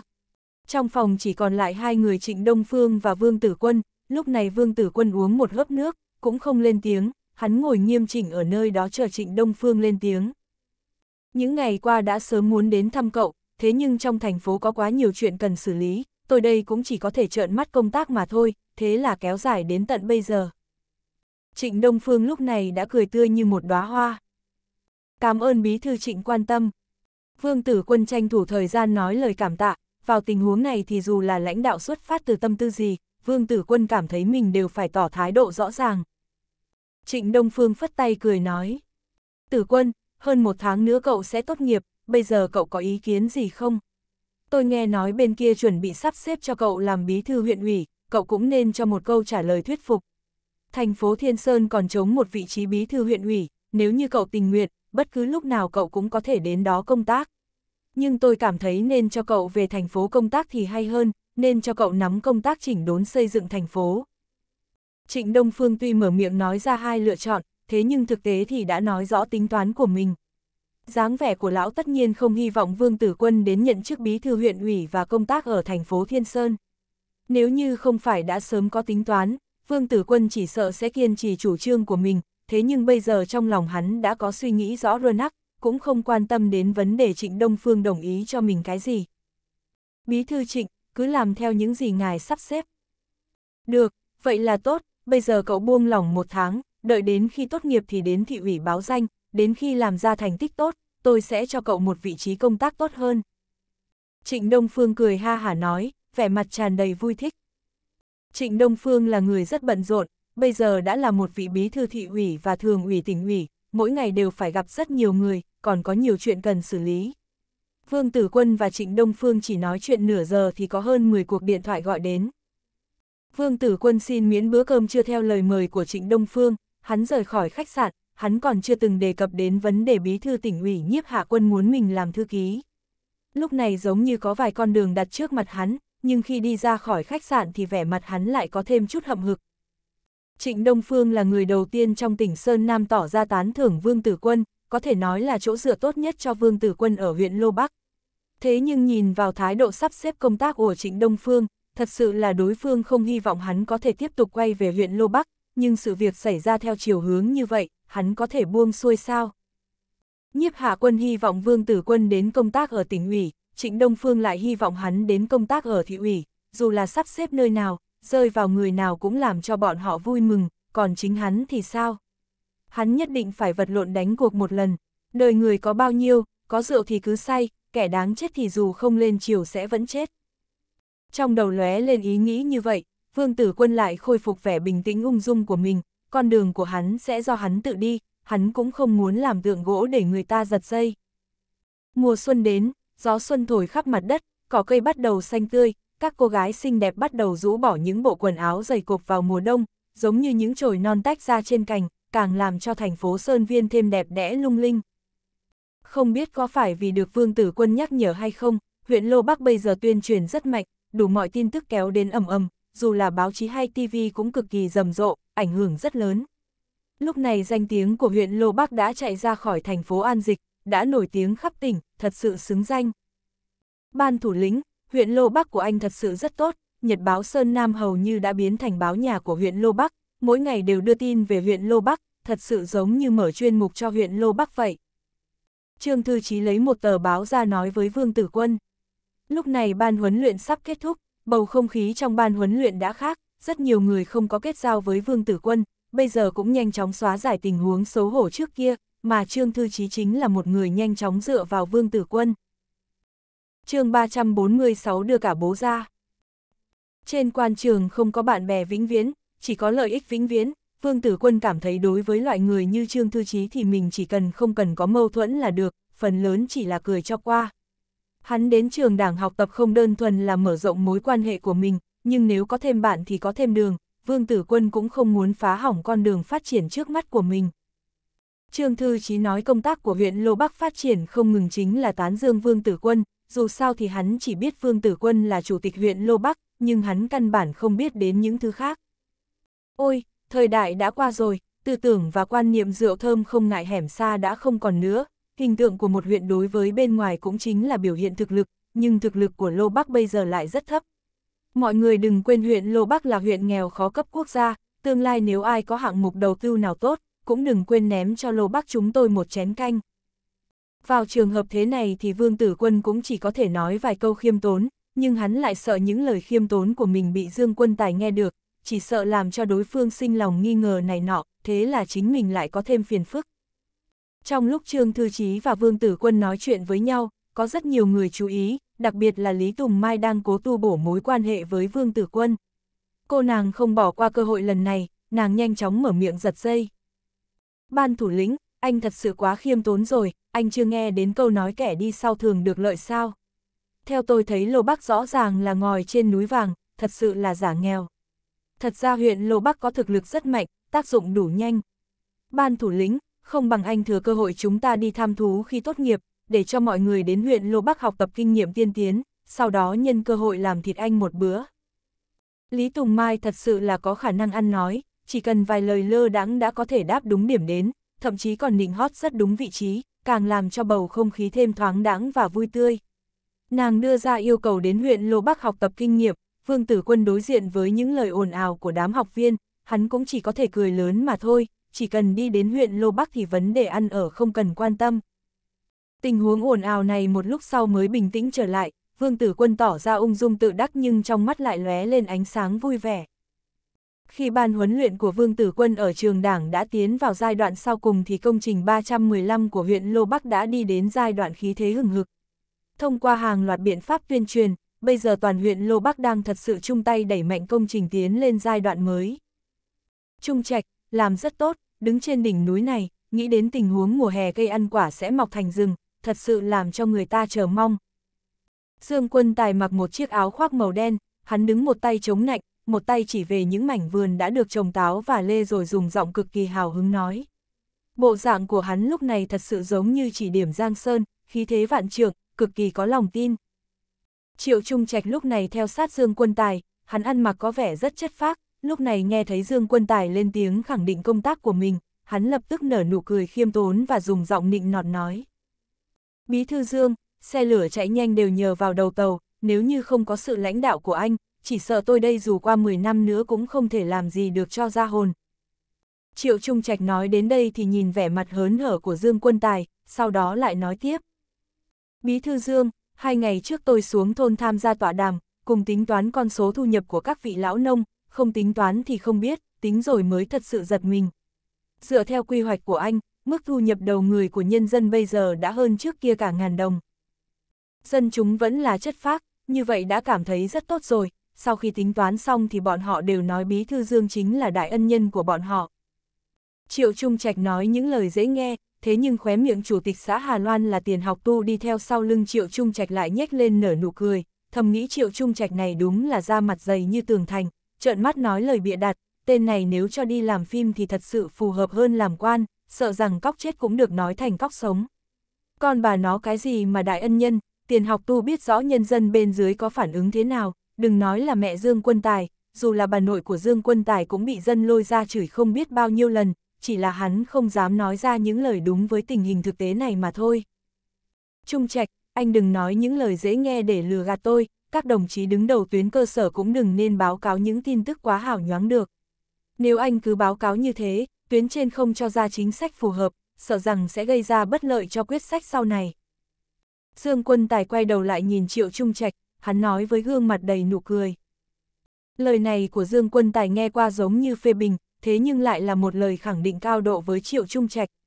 Là người trong cuộc, Triệu Trung Trạch tất nhiên đã cảm thấy rất vui sướng, thế là càng biểu hiện ra trung thành và tận tâm, hắn dùng giọng bất mãn nói. Bí thư Dương, anh nói như vậy là oan uổng cho tôi rồi, tôi là người ăn nói vụng về, có sao nói vậy, nào có dám lừa gạt lãnh đạo. Cúp vàng cúp bạc không bằng danh tiếng với quần chúng, dù thưởng huy chương vàng bạc cũng không bằng lời khích lệ của dân chúng. Dân chúng nói thế nào thì tôi nói với ngài như vậy, tôi có muốn nói giả cũng khó. Triệu Trung Trạch nói đến đây thì dừng lại một chút, sau đó nói tiếp. Đúng rồi, đần chúng còn có một câu về thuận miệng về ngài và Chủ tịch Vương, tôi không nhớ được tất cả, dù sao thì ý nghĩa của nó đại khái là Chủ tịch Vương làm quan chỉ biết đến thể diện của chính mình, ngài làm quan thì quan tâm đến túi tiền của dân chúng. Tiền học tu nhìn bộ dạng cười tủm tỉm của Triệu Trung Trạch, thầm nghĩ văn phòng đảng ủy xã muốn biên một bài về như vậy cũng không lãng phí quá nhiều thời gian, thế nhưng muốn làm cho Triệu Trung Trạch thỏa mãn thì đã ép các đồng chí tổn hại biết bao nhiêu tế bào não. Nụ cười trên mặt Dương Quân Tài càng lúc càng sáng lạn, hắn chỉ chỉ vào Triệu Trung Trạch mà không nói gì, thế nhưng ngón tay của hắn lại nói rõ vấn đề. Lúc này ngọn núi đã phủ màu xanh, cỏ xanh tươi đã mọc ra từ trong khe hẹp, không khí tươi mới, gió xuân thổi bùng lên không khỏi làm cho lòng người cảm thấy rất thoải mái. Họ, họ, họ. Khi Dương Quân Tài chuẩn bị đi xuống núi thì gặp một ông lão hơn 50 khoác một cái áo lớn cầm roi ra trong tay, trong miệng hô lớn vài tiếng. Bên cạnh lão là vài chục con dê lớn nhỏ, đám dê đang chậm rãi ăn cỏ trên sườn núi. Chào bác, nhìn bác thật sự rất rắn chắc. Dương Quân Tài thấy ông lão kia chăn dê thì hai mắt chợt sáng ngời, hắn bước nhanh về phía ông lão. Ông lão vừa thấy nhiều người như vậy thì tỏ ra sợ hãi, Triệu Trung Trạch lại nhanh chóng tiến đến an ủi. Bác Triệu, dừng sợ, đây chính là bí thư dương của huyện Lô Bắc chúng ta. Bí thư dương, là bí thư dương đã để sướng nuôi dê và trồng cây ăn quả trong huyện chúng ta sao? Ông cụ khi nhìn thấy Dương Quân Tài thì trên mặt chợt xuất hiện cảm giác đắc ý vô hạn. Dương Quân Tài nhìn ông lão, hắn cố gắng bày ra tư thái chính đáng nhất. Chào bác, cháu là Dương Quân Tài. Bí thư Dương, đại ân nhân, chính sách của ngài thật sự rất tốt, tôi đây có ba con trai, hai đứa không có việc gì làm, thật sự chỉ biết chạy qua chạy lại phá phách làng xóm. Nhưng nhờ ngài đề sướng nuôi dê và trồng cây ăn quả, tôi cảm thấy cơ hội phát tài đã đến, vậy là nuôi hơn ba chục con dê. Tuy còn chưa kiếm được tiền nhưng ít ra cũng có việc cho hai đứa con trong nhà, để cho chúng nó không còn thời gian phá phách. Lão Triệu nói đến đây thì bày ra bộ dạng thật sự muốn rơi nước mắt. Bí thư Dương, anh thật sự là đại ân nhân của nhà tôi, tôi xin cảm ơn anh. Lão Triệu nói rồi giống như muốn quỳ xuống lại Dương Quân Tài. Dương Quân Tài nào gặp qua tình huống thế này, hắn tỏ ra sợ hãi, tranh thủ thừa oi gian đỡ ông lão dậy. Bác trai, bác trai, cháu thật sự không làm được gì tốt, bác khen như vậy cũng chỉ làm cháu xấu hổ mà thôi. Tuy Dương Quân Tài nói rất xấu hổ nhưng vẻ mặt lại tươi vui như hoa nở trên núi vào tháng 3, thật sự sáng lạn như mặt trời buổi ban mai. Lão Triệu lại tiếp tục nói lời cảm ơn, Dương Quân Tài cuối cùng cũng hút một điếu thuốc lá do chính tay Lão Triệu quấn, thế là không khỏi ho khan không ngừng. Nhưng lúc này vẻ mặt hắn rất hớn hở, hắn liên tục gật đầu đồng ý để cho xã Hà Loan tăng thêm chỉ tiêu 20 con dê cho ông lão. Đám cán bộ xã Hà Loan trơ mắt nhìn lão Triệu vội vàng đuổi dê đi ăn cỏ, ánh mắt đám người đều ngây ngốc. Bọn họ nhìn lão Triệu, lại nhìn vẻ mặt Triệu Trung Trạch đứng ở bên cạnh Dương Quân Tài, thầm nghĩ. Bí thư Triệu thật sự đã vứt hết tất cả đồng vốn ra, ngay cả bố mình cũng kéo đến đây tìm nguồn vui cho lãnh đạo, hèn gì có thể được lãnh đạo sủng ái như vậy. Dê thành đàn, cây ăn quả thành rừng, Trung Trạch, chúng ta làm quan để làm gì? Không phải là tạo phúc cho một phương sao? Dương quân tài nhìn hình bóng lão triệu khuất dần ở sườn núi bên kia, thế là dùng giọng cực kỳ cảm khái nói. Dương quân tài là bí thư huyện ủy, hắn nói gì tất nhiên sẽ được đám cán bộ xung quanh gật đầu xưng vâng, triệu trung trạch lại càng theo sát bên cạnh. Bí thư Dương, anh nói rất đúng, nếu không phải ngài đến huyện Lô Bắc, nào sẽ có trạng thái tốt đẹp như thế này xuất hiện. Cao cũng không thể kéo xe được. Dương quân tài cười cười vỗ vỗ vai triệu trung trạch rồi nói. Công trình 315 này chính là một hạng mục dân tâm của nhân dân huyện Lô Bắc, xã Hà Loan chính là một điển hình của Lô Bắc. Hai ngày nữa Bí Thư Trình và trưởng phòng cát trên thị ủy sẽ xuống nghiên cứu thị sát, anh cần phải chuẩn bị cho tốt. Chỗ này đã thật sự rất đẹp, bây giờ tuy cân ăn quả đã bắt đầu đâm chồi, thế nhưng nếu trên núi có hàng đàn dê bò gặm cỏ, như vậy hai mắt lãnh đạo sẽ tỏa sáng, như vậy không phải sẽ càng thấy rõ thành tích của chúng ta sao? Dương Quân Tài nói, Triệu Trung Trạch lập tức hiểu ra vấn đề, hắn dùng ngôn từ cực kỳ chính xác để đảm bảo với Dương Quân Tài. Bí thư Dương, ngài cứ yên tâm, xã Hà Loan chúng tôi sẽ tuyệt đối không làm cho lãnh đạo thất vọng. À, lúc này quan niệm và tư tưởng của các cán bộ trong huyện thật sự không cấp tiến bằng anh, thật sự không biết đám người kia vì sao có thể tiến lên cương vị công tác hiện tại. Nhưng cũng không có vấn đề, gần đây tôi cảm thấy công tác phân công cán bộ không chỉ cần phải nắm thật chặt và nghiêm, còn phải mở rộng cửa, không đổi tư tưởng thì đổi người, đám người tư tưởng lạc hậu cần phải cho vào trong lịch sử, đẩy những cán bộ có năng lực và tư tưởng lên đúng vị trí, cho bọn họ một sân khấu biểu hiện tài hoa, anh nói xem có đúng không? Dương quân tài vỗ vai của Triệu Trung Trạch rồi dùng giọng cực kỳ sâu sắc nói. Lúc này Triệu Trung Trạch sao không hiểu rõ ý nghĩ của lãnh đạo. Thế là hắn cuống quýt gật đầu, giống hệt như gà mổ thóc. Đúng lúc này một người vội vàng chạy đến, khi thấy Triệu Trung Trạch thì càng chạy nhanh hơn, bộ dạng thở hồng hộc. Triệu Trung Trạch vừa thấy mặt tên cán bộ kia thì vẻ mặt chợt biến đổi, nhưng hắn nhanh chóng lấy lại vẻ bình tĩnh, sau đó lớn tiếng nói. Vương Tam Thuận, tôi nói cho anh biết, chỉ tiêu dê bò cho từng thôn đã được xác định, anh dù có quấn lấy tôi thế nào, tôi cũng không thể phân bố chỉ tiêu cho anh nhiều hơn được nữa. Tình huống của thôn các anh khá đặc biệt, nhưng anh cũng phải quan tâm đến cảm nhận của những thôn khác nữa chứ. Tôi là bí thư đảng ủy xã, nếu một chén nước phân chia không đồng đều, như vậy anh nghĩ xem tôi phải nói thế nào với các vị bí thư chi bộ các thôn khác đây. Tên cán bộ được gọi là Vương Tam Thuận kia chợt há hốc mồm, hắn lắp bắp nói. Bí thư triệu, tôi, chúng tôi.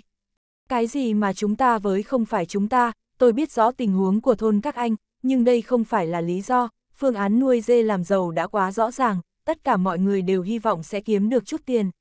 Anh Vương, anh cũng là cựu chiến binh, anh không thể chỉ vì người của thôn mình, anh phải đặt tầm mắt ra khắp xã, không thể gây ra khó khăn cho xã được. Triệu Trung Trạch đi đến bên cạnh tên cán bộ kia rồi lớn tiếng nói. Tên cán bộ Vương Tam Thuận chợt há hốc mồm, nhưng khoảnh khắc này hắn thật sự khó nói nên lời, hắn nhìn bộ dạng của Triệu Trung Trạch, giống như càng muốn nói mãi không ngừng. Trung Trạch, là chuyện gì xảy ra? Dương Quân Tài khẽ đi đến bên cạnh Triệu Trung Trạch rồi mỉm cười nói. Bí thư Dương, ôi, xã của chúng tôi hầu như tranh chấp với nhau rối loạn cả ra, từng thôn đều un cố gắng tranh thủ chỉ tiêu cho mình.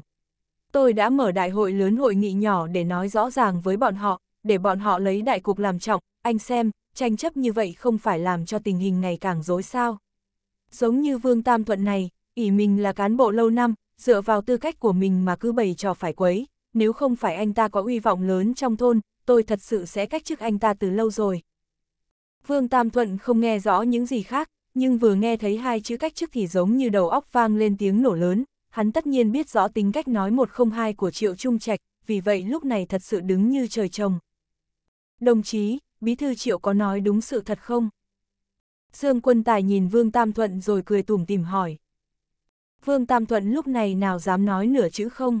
Vốn hắn còn có chút chuyện quan trọng muốn báo cáo với Triệu Trung Trạch, thế nhưng bây giờ sự việc tiến triển theo chiều hướng có liên quan đến vị trí của hắn, thế là hắn cũng bất chấp sự kiện xảy ra trong thôn, lập tức gật đầu xưng vâng. Dương Quân Tài nhìn bộ dạng kinh sợ của Vương Tam Thuận, hắn vung tay lên nói. Trung Trạch, đồng chí này không phải ôm tư tưởng làm giàu cho quần chúng trong thôn sao. Anh cũng đừng nên cho ra những yêu cầu quá nghiêm, thế này đi, thôn của bọn họ có chỉ tiêu quá ít phải không? Vậy thì huyện sẽ phân bổ thêm 2.000 đầu dê bò, bây giờ dân chúng có nguyện vọng bức thiết để phát triển kinh tế, chúng ta là ban ngành đảng ủy chính quyền, cần phải ra sức giúp đỡ, sao có thể vì vấn đề chỉ tiêu mà ảnh hưởng đến tính tích cực của các đồng chí cho được. Vâng, vâng, Bí Thư Dương, tư tưởng của tôi không quá tốt, tôi sẽ sửa chữa, sẽ sửa chữa. Triệu Trung Trạch bày ra bộ dạng cúi đầu nhận lỗi làm cho Dương Quân Tài cảm thấy rất vui sướng, hắn nhìn non sông tươi tốt ở chung quanh, nhìn những bầy cừu đang nhởn như gặm cỏ, thế là hào khí càng bùng lên cao vút. Hắn nghĩ đến lời nói đứng trên đại trí để làm chuyện đại sự của bố mình, thế là lúc này chợt sinh ra vài phần cảm ngộ. Chỉ cần công trình 315 này cho ra được thành tích thiết thực, sau đó số tiền ném xuống phương Nam cho ra khoản lời lớn, như vậy không những có danh tiếng lớn, lại có nguồn tài chính dồi dào để huyện Lô Bắc vượt qua giai đoạn phát triển khó khăn. Đến lúc đó để xem ai có thể ngăn chặn con đường phát triển của mình. 29 tuổi thì Dương Quân Tài này sẽ là cán bộ cấp phó phòng, như vậy có đáng gì? Thật sự quá mức động tâm. Dương Quân Tài nghĩ đến tình huống Trình Vạn Thọ và các trường lễ xuống thị sát tô điểm mặt mũi cho mình, hắn càng nở nụ cười thoải mái.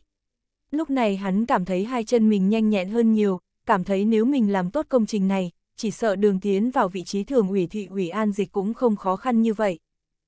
Thành tích như vậy nếu có thể cho lãnh đạo nhìn thấy và thưởng thức thì thật sự quá hay, nếu như mình có thể mời được Vương Tử Quân đến kiểm tra xem xét, không biết đối phương sẽ có cảm tưởng gì.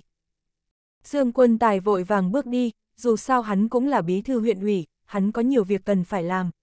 Sau khi đưa bí thư Dương đi đến vùng giáp danh, Triệu Trung Trạch lúc này mới chậm rãi phục hồi trở lại như bình thường, gương mặt vốn như đóa hoa xuân lại biến thành lạnh như băng. Hắn dùng ánh mắt lạnh lùng nhìn Vương Tam Thuận đứng trước mặt, sau đó vỗ bàn thật mạnh nói. Vương Tam Thuận, tiểu tử cậu muốn làm gì?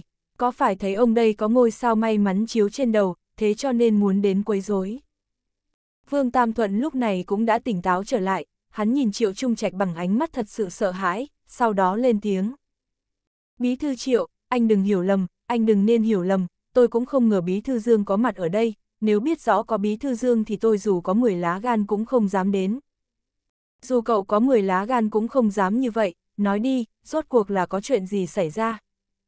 Bí thư Triệu, anh em tả ra giết dê trong nhà, cán bộ thôn xuống ngăn cản, người này không nghe, lão tam nhà bọn họ hò hét ẩm ý, nếu đám chúng tôi dám đứng ra ngăn cản sẽ đâm lủng bụng từng người. Nhị lượng tiến lên nói vài câu, thế là tên kia cũng không nói nhiều, trực tiếp đánh cho bọn họ bất tỉnh. Vương Tam Thuận nói, gương mặt thật sự giận dữ. Triệu Trung Trạch biết rõ nhị lượng là cháu của Vương Tam Thuận, là đội trưởng đội dân phòng trong thôn. Thế là hắn hừ một tiếng rồi dùng giọng lạnh lùng phân phó thư ký đảng ủy xã. Cậu thông báo cho đồn công an, để bọn họ đi theo anh Vương bắt người, người giết dê bò là công khai đối nghịch với chính quyền, thật sự làm phản. Bây giờ địa vị của Triệu Trung Trạch thật sự là đứng đầu xã Hà Loan, là người nhất ngôn cửu đỉnh.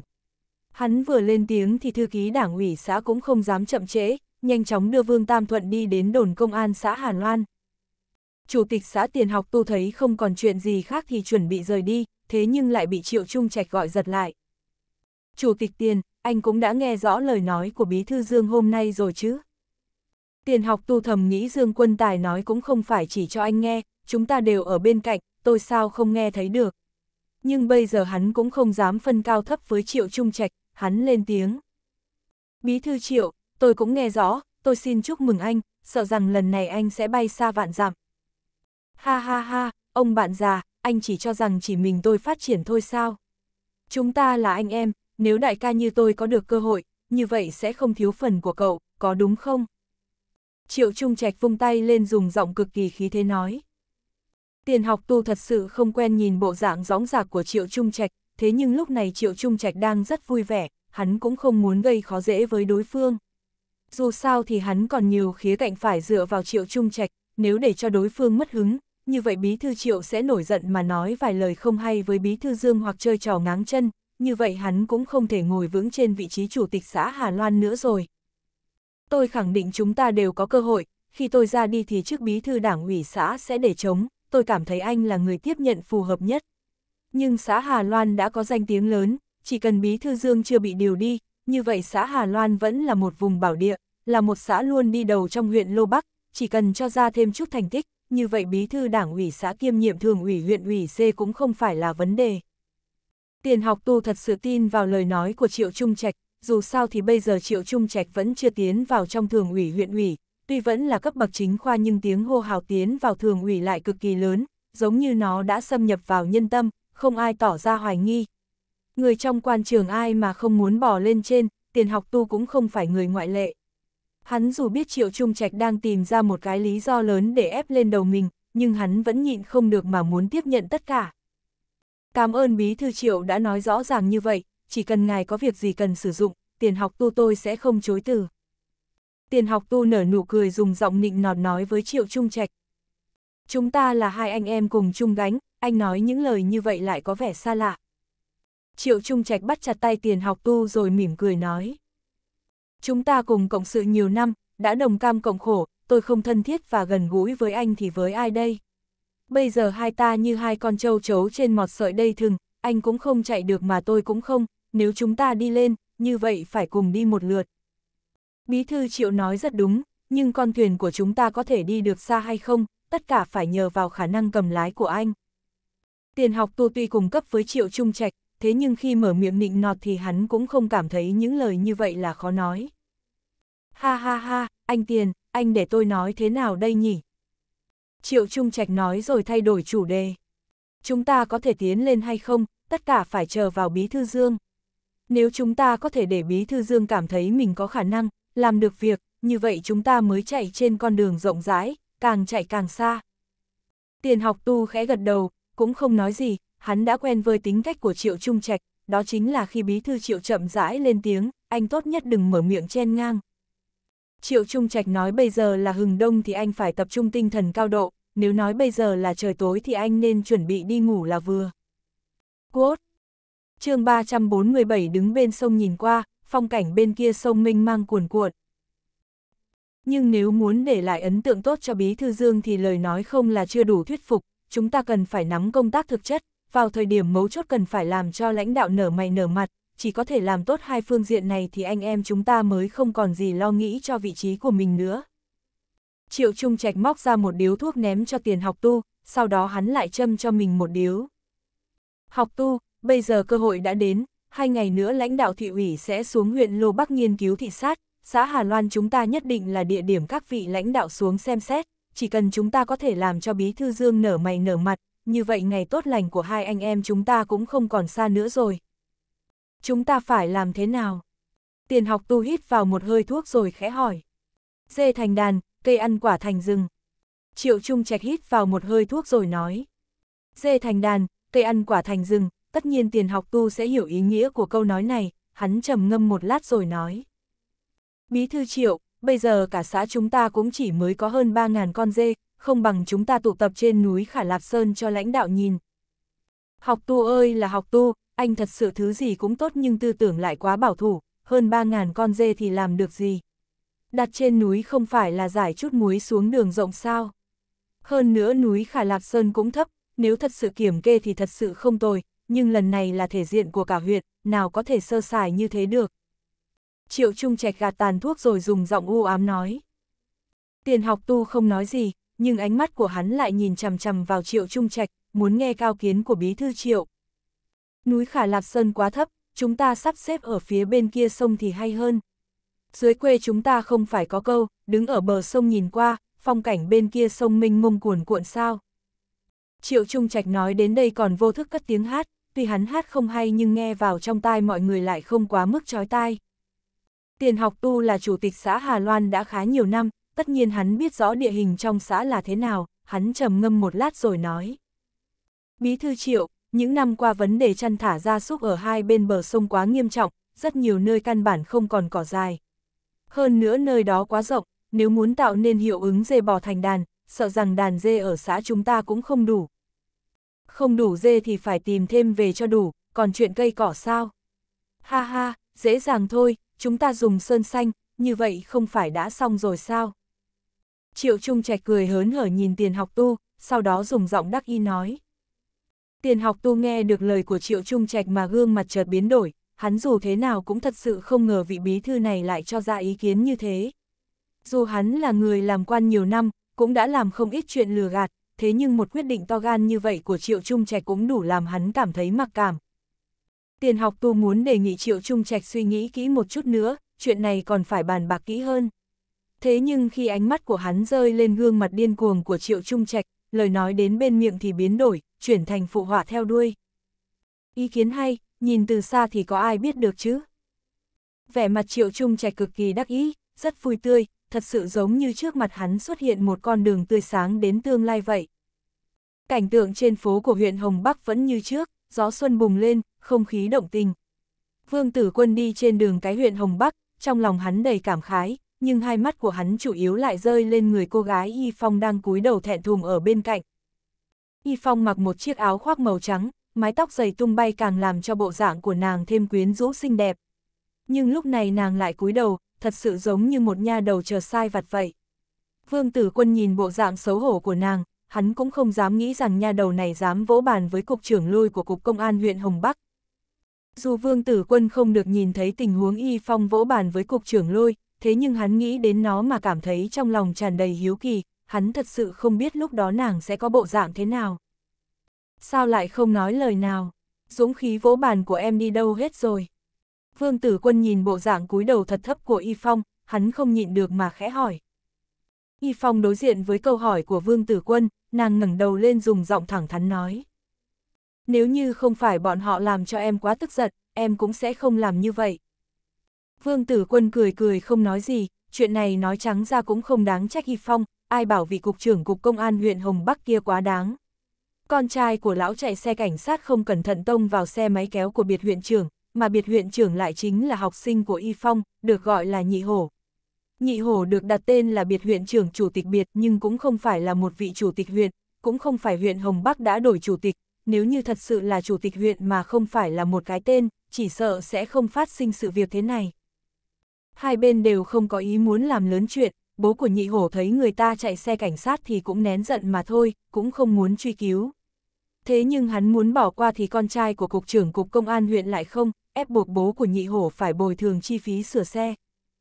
Nếu như chỉ là chút tiền thì bố của nhị hổ sẽ tự nhận mình không may, chỉ là tên khốn kia thật sự há rộng miệng, muốn 2.000 đồng, thật sự làm cho bố của nhị hổ trợn tròn mắt. Lúc đó cho dù là người làm ra tiền, dù là quanh năm suốt tháng cũng khó tìm ra được 2.000, bố của nhị hổ nào tình nguyện ném số tiền lớn như vậy ra đường. Dưới thao tác của con trai cục trưởng cục công an huyện Hồng Bắc, bố của nhị hổ bị nhốt vào nhà giam, khi nào giao tiền mới thả người. Trùng hợp là lúc này Y Phong về huyện thăm nhà, thế là nhị hổ và mẹ mình đến nhà Y Phong. Y Phong từng là giáo viên của nhị hổ, nàng chạy đến cục công an yêu cầu thả người nhưng lại bị đuổi về. Nàng chợt nổi giận, thế là chạy đến tìm vị cục trưởng cục công an, yêu cầu đối phương quản giáo con trai nghiêm khắc hơn rồi thả người ra. Vị cục trưởng lúc đầu cũng không thèm quan tâm đến một nha đầu nhỏ tuổi như Y Phong, lão dùng giọng ôn hòa châm chọc hai câu, kết quả làm cho Y Phong đỏ mặt tía tai. Nàng cực kỳ sốt ruột, thế là không kìm chế được mà vỗ bàn với vị cục trưởng kia, hơn nữa còn nói nếu không giải quyết chuyện này, nàng sẽ đẩy sự việc lên tuyến thành phố, thậm chí còn đưa lên tòa án tỉnh. Dưới tình huống bị Y Phong chụp mũ, vị cục trưởng cục công an mới phát hiện cô nàng trước mặt không dễ chọc vào, lại thông qua người quen để biết được lai lịch của Y Phong. Nhưng lúc này trong đầu Y Phong đã tràn đầy ý nghĩ chính nghĩa, nàng lại không chịu bỏ qua cho vị cục trưởng kia, đẩy sự việc ra tòa. Cục trưởng lôi của Cục Công an huyện Lô Bắc cũng có quan hệ rất sâu rộng, Y Phong thật sự không thể làm gì hơn được. Dưới tình huống không biết phải làm sao, Cục trưởng lôi gọi điện thoại cho Vương Tử Quân, muốn Vương Tử Quân khuyên Y Phong một câu, sự việc coi như xong, người ta tình nguyện bồi thường. Nếu không phải em là người của tòa án tỉnh, chỉ sợ tên kia sẽ không chịu bỏ qua, loại người cặn bã như vậy đúng là không ra gì, thật sự là vẽ đường cho hưu chạy. Y Phong nghiêm mặt thở hồng hộc nói. Vương Tử Quân khẽ cười, hắn dùng giọng điệu dàng nói. Y Phong, có đôi khi quá cứng tay cũng không tốt, chuyện này vốn cũng không có gì lớn, nếu cứ gắng gượng sẽ không tốt cho cả hai bên. Cho dù em kiện đối phương ra tòa án tỉnh, như vậy cũng thật sự gây thêm khó khăn phiền hà cho nhà nhị hổ. Y Phong cắn chặt khóe môi đỏ tươi, nàng không nói nên lời. Tuy lời nói của Vương Tử Quân rất mâu thuẫn với ý nghĩ của nàng, thế nhưng nàng cũng cảm nhận được sự việc phát triển theo chiều hướng nào, phương pháp mà Vương Tử Quân đề cập đến lại cực kỳ phù hợp vào lúc này. Không những bố của nhị hổ nhận được bồi thường, hơn nữa sự việc sẽ được giải quyết sạch sẽ, không để lại chút di chứng nào. Dù biết làm như vậy là đúng nhưng trong lòng vẫn cảm thấy không thoải mái. Y Phong ngửa đầu nhìn Vương Tử Quân, ánh mắt lấp lánh. Vương Tử Quân không tự giác được phải nắm lấy bàn tay của Y Phong, hắn dùng giọng âm u nói. Thật ra phương pháp tốt đẹp nhất là của em, anh mới là người nói sai, nhưng có vài vấn đề mà chúng ta không thể nào giải quyết theo đúng tình huống cụ thể, đi trên con đường như vậy sẽ là gây khó cho chính mình. Vương Tử Quân nói hết lời thì hai người đứng đó mà không nói thêm lời nào, sau đó bọn họ tiếp tục tiến bước, cảm giác yêu sầu trong lòng cũng tan biến khá nhiều. Nhưng lúc này điện thoại của Vương Tử Quân lại vang lên, hắn nhìn dãy số lạ lắm, chợt nghe thấy đầu dây bên kia vang lên một âm thanh. Alo, có phải là Chủ tịch Vương không? Tôi là Lương Đống, cậu đến huyện Hồng Bắc cũng không nói một tiếng, có phải đã quên một người anh như tôi rồi không? Giọng điệu của Tôn Lương Đống tràn đầy nhiệt tình giống như có kết giao rất sâu với Vương Tử Quân, hơn nữa bí thư tôn còn xưng hô với Vương Tử Quân là cậu, rõ ràng đã coi Vương Tử Quân ngang hàng với chính mình. Chào bí thư tôn, tôi đến xử lý vài việc, vốn định tìm báo cáo tư tưởng với bí thư, thế nhưng ngại anh quá bận rộn, sợ làm trễ nãi công tác của anh. Vì thế mà tôi đang do dự, không biết nên vào quán dùng cơm trước rồi báo cáo với anh, hay là báo cáo với anh trước. Tôn Lương đống nghe xong câu trả lời của Vương Tử Quân thì thật sự vui vẻ, dù lão đã đặt Vương Tử Quân lên vị trí ngang hàng với mình, thế nhưng là người thì ai không thích nghe những lời nịnh hót. Hơn nữa trước kia Vương Tử Quân còn là thuộc hạ của lão. Ha ha ha, cậu đừng do dự mà nhanh chóng đến nhà khách huyện ủy, chúng ta uống vài ly, coi như anh đây mở tiệc đón gió tẩy trần cho cậu. Tôn Lương Đống gọi điện thoại giống như một mở đầu, ngay sau đó là không ít cuộc điện thoại của các bạn bè cũ ở huyện Hồng Bắc, có người mời Vương Tử Quân dùng cơm, có người muốn ôn chuyện, giống như tin tức Vương Tử Quân quay về đã mọc cánh bay đi khắp huyện Hồng Bắc. Sau khi từ chối vài lời mời thì Vương Tử Quân mới đặt điện thoại xuống hỏi Y Phong. Đi ăn cơm với anh nhé. Anh đi một mình thôi, em không có hứng. Y Phong thật sự không muốn cùng đi với Vương Tử Quân đến gặp đám lãnh đạo huyện Hồng Bắc, hơn nữa bây giờ Vương Tử Quân mới kết hôn chưa lâu, đây là thời điểm người ta đang cần hâm nóng tình cảm, nàng là một cô gái trẻ, cũng cần tránh thị hiềm. Y Phong không đi thì Vương Tử Quân cũng không làm gì hơn được, hắn lái xe đưa nàng về nhà, sau đó chạy xe đến nhà khách huyện Hồng Bắc. Khi hắn đến nhà khách thì Tôn Lương Đống mang theo vài thành viên ban ngành huyện ủy ra đón tiếp, hai bên vì nguyên nhân không có gì tranh chấp mà ăn uống rất ngon miệng, bầu không khí hòa hợp và nhiệt liệt không giống như bình thường. Đã hơn một năm trôi qua, huyện Hồng Bắc dù có chút biến đổi, thế nhưng chút biến đổi ấy cũng không quá rõ ràng. Ngoài vị bí thư tiền bị điều đến nhận chức ở Hội đồng Nhân dân thành phố, cũng chỉ có vài vị thường ủy tiến thêm một bậc thang nhỏ mà thôi, nhưng chút biến hóa về nhân sự như vậy lại càng thể hiện khả năng khống chế đại cục huyện Hồng Bắc của bí thư Tôn Lương Đống. Những vị thường ủy đến tham gia bữa cơm lần này hầu như đều có quen biết với Vương Tử Quân, bọn họ ngồi với nhau rất hòa thuận vui vẻ, nhưng ánh mắt bọn họ nhìn về phía Vương Tử Quân thì rõ ràng là cực kỳ hâm mộ. Những vị thường ủy này không người nào không bỏ ra vài năm và thậm chí là chục năm để từ vị trí phó chủ tịch huyện tiến vào thường ủy, nhưng ngay sau đó lại bất động tại cô ố, không thể trở thành lãnh đạo đứng đầu khối chính quyền. Vương Tử Quân lúc rời khỏi huyện Hồng Bắc thì chỉ là một vị phó chủ tịch tạm giữ chức, bây giờ đã là chủ tịch huyện Lô Bắc. Đám cán bộ huyện Hồng Bắc cảm thấy cơ duyên rất quan trọng, thế nhưng tương lai tươi sáng của vị chủ tịch huyện trẻ tuổi này đã quá rõ ràng rồi. Cậu Vương, nhà khách có một phòng nhạc, hay chúng ta vào đó hát vài bài. Sau khi uống vài chai rượu, Tôn Lương Đống đã có men say, tuy ý nghĩ vẫn như trước thế nhưng hành động kéo tay Vương Tử Quân và lời nói lại hào sảng hơn trước đó rất nhiều. Tử lượng của Vương Tử Quân hơi kém, tuy hắn đã cố gắng uống ít, thế nhưng lúc này hắn cũng không khá hơn so với Tôn Lương Đống. Hắn cũng không có hứng thú với những trò ca hát kia, chẳng qua đó là sự biểu hiện lòng nhiệt tình của cán bộ huyện Hồng Bắc với hắn, nếu hắn cứ tiếp tục thì chỉ sợ người ta cũng sinh ra cảm giác phiền chán. Người ta mời khách thì tất nhiên sẽ nói lời nhiệt tình, chính mình cũng không thể cho là thật.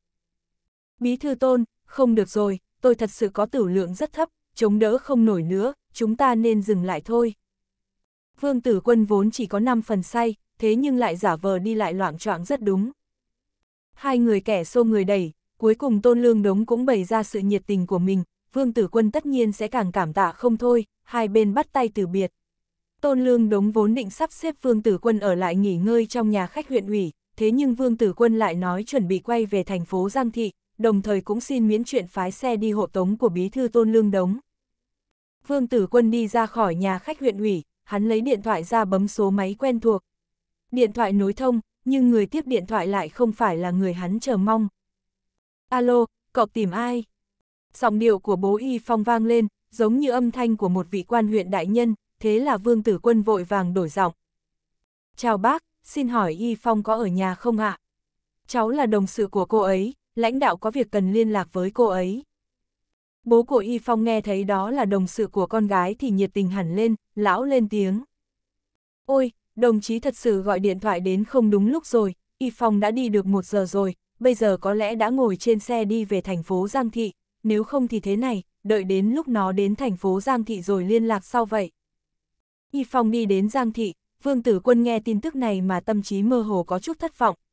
Y Phong đã đi, nàng về Giang Thị, không chờ mình. Một ý nghĩ khó chịu lóe lên trong đầu Vương Tử Quân, tuy hắn đã sớm có phán đoán này, thế nhưng lúc này hành động của nàng vẫn làm hắn đau lòng. Nàng là người ngoài mềm trong cứng, nàng dùng hành động để thổ lộ bản tính quật cường của mình.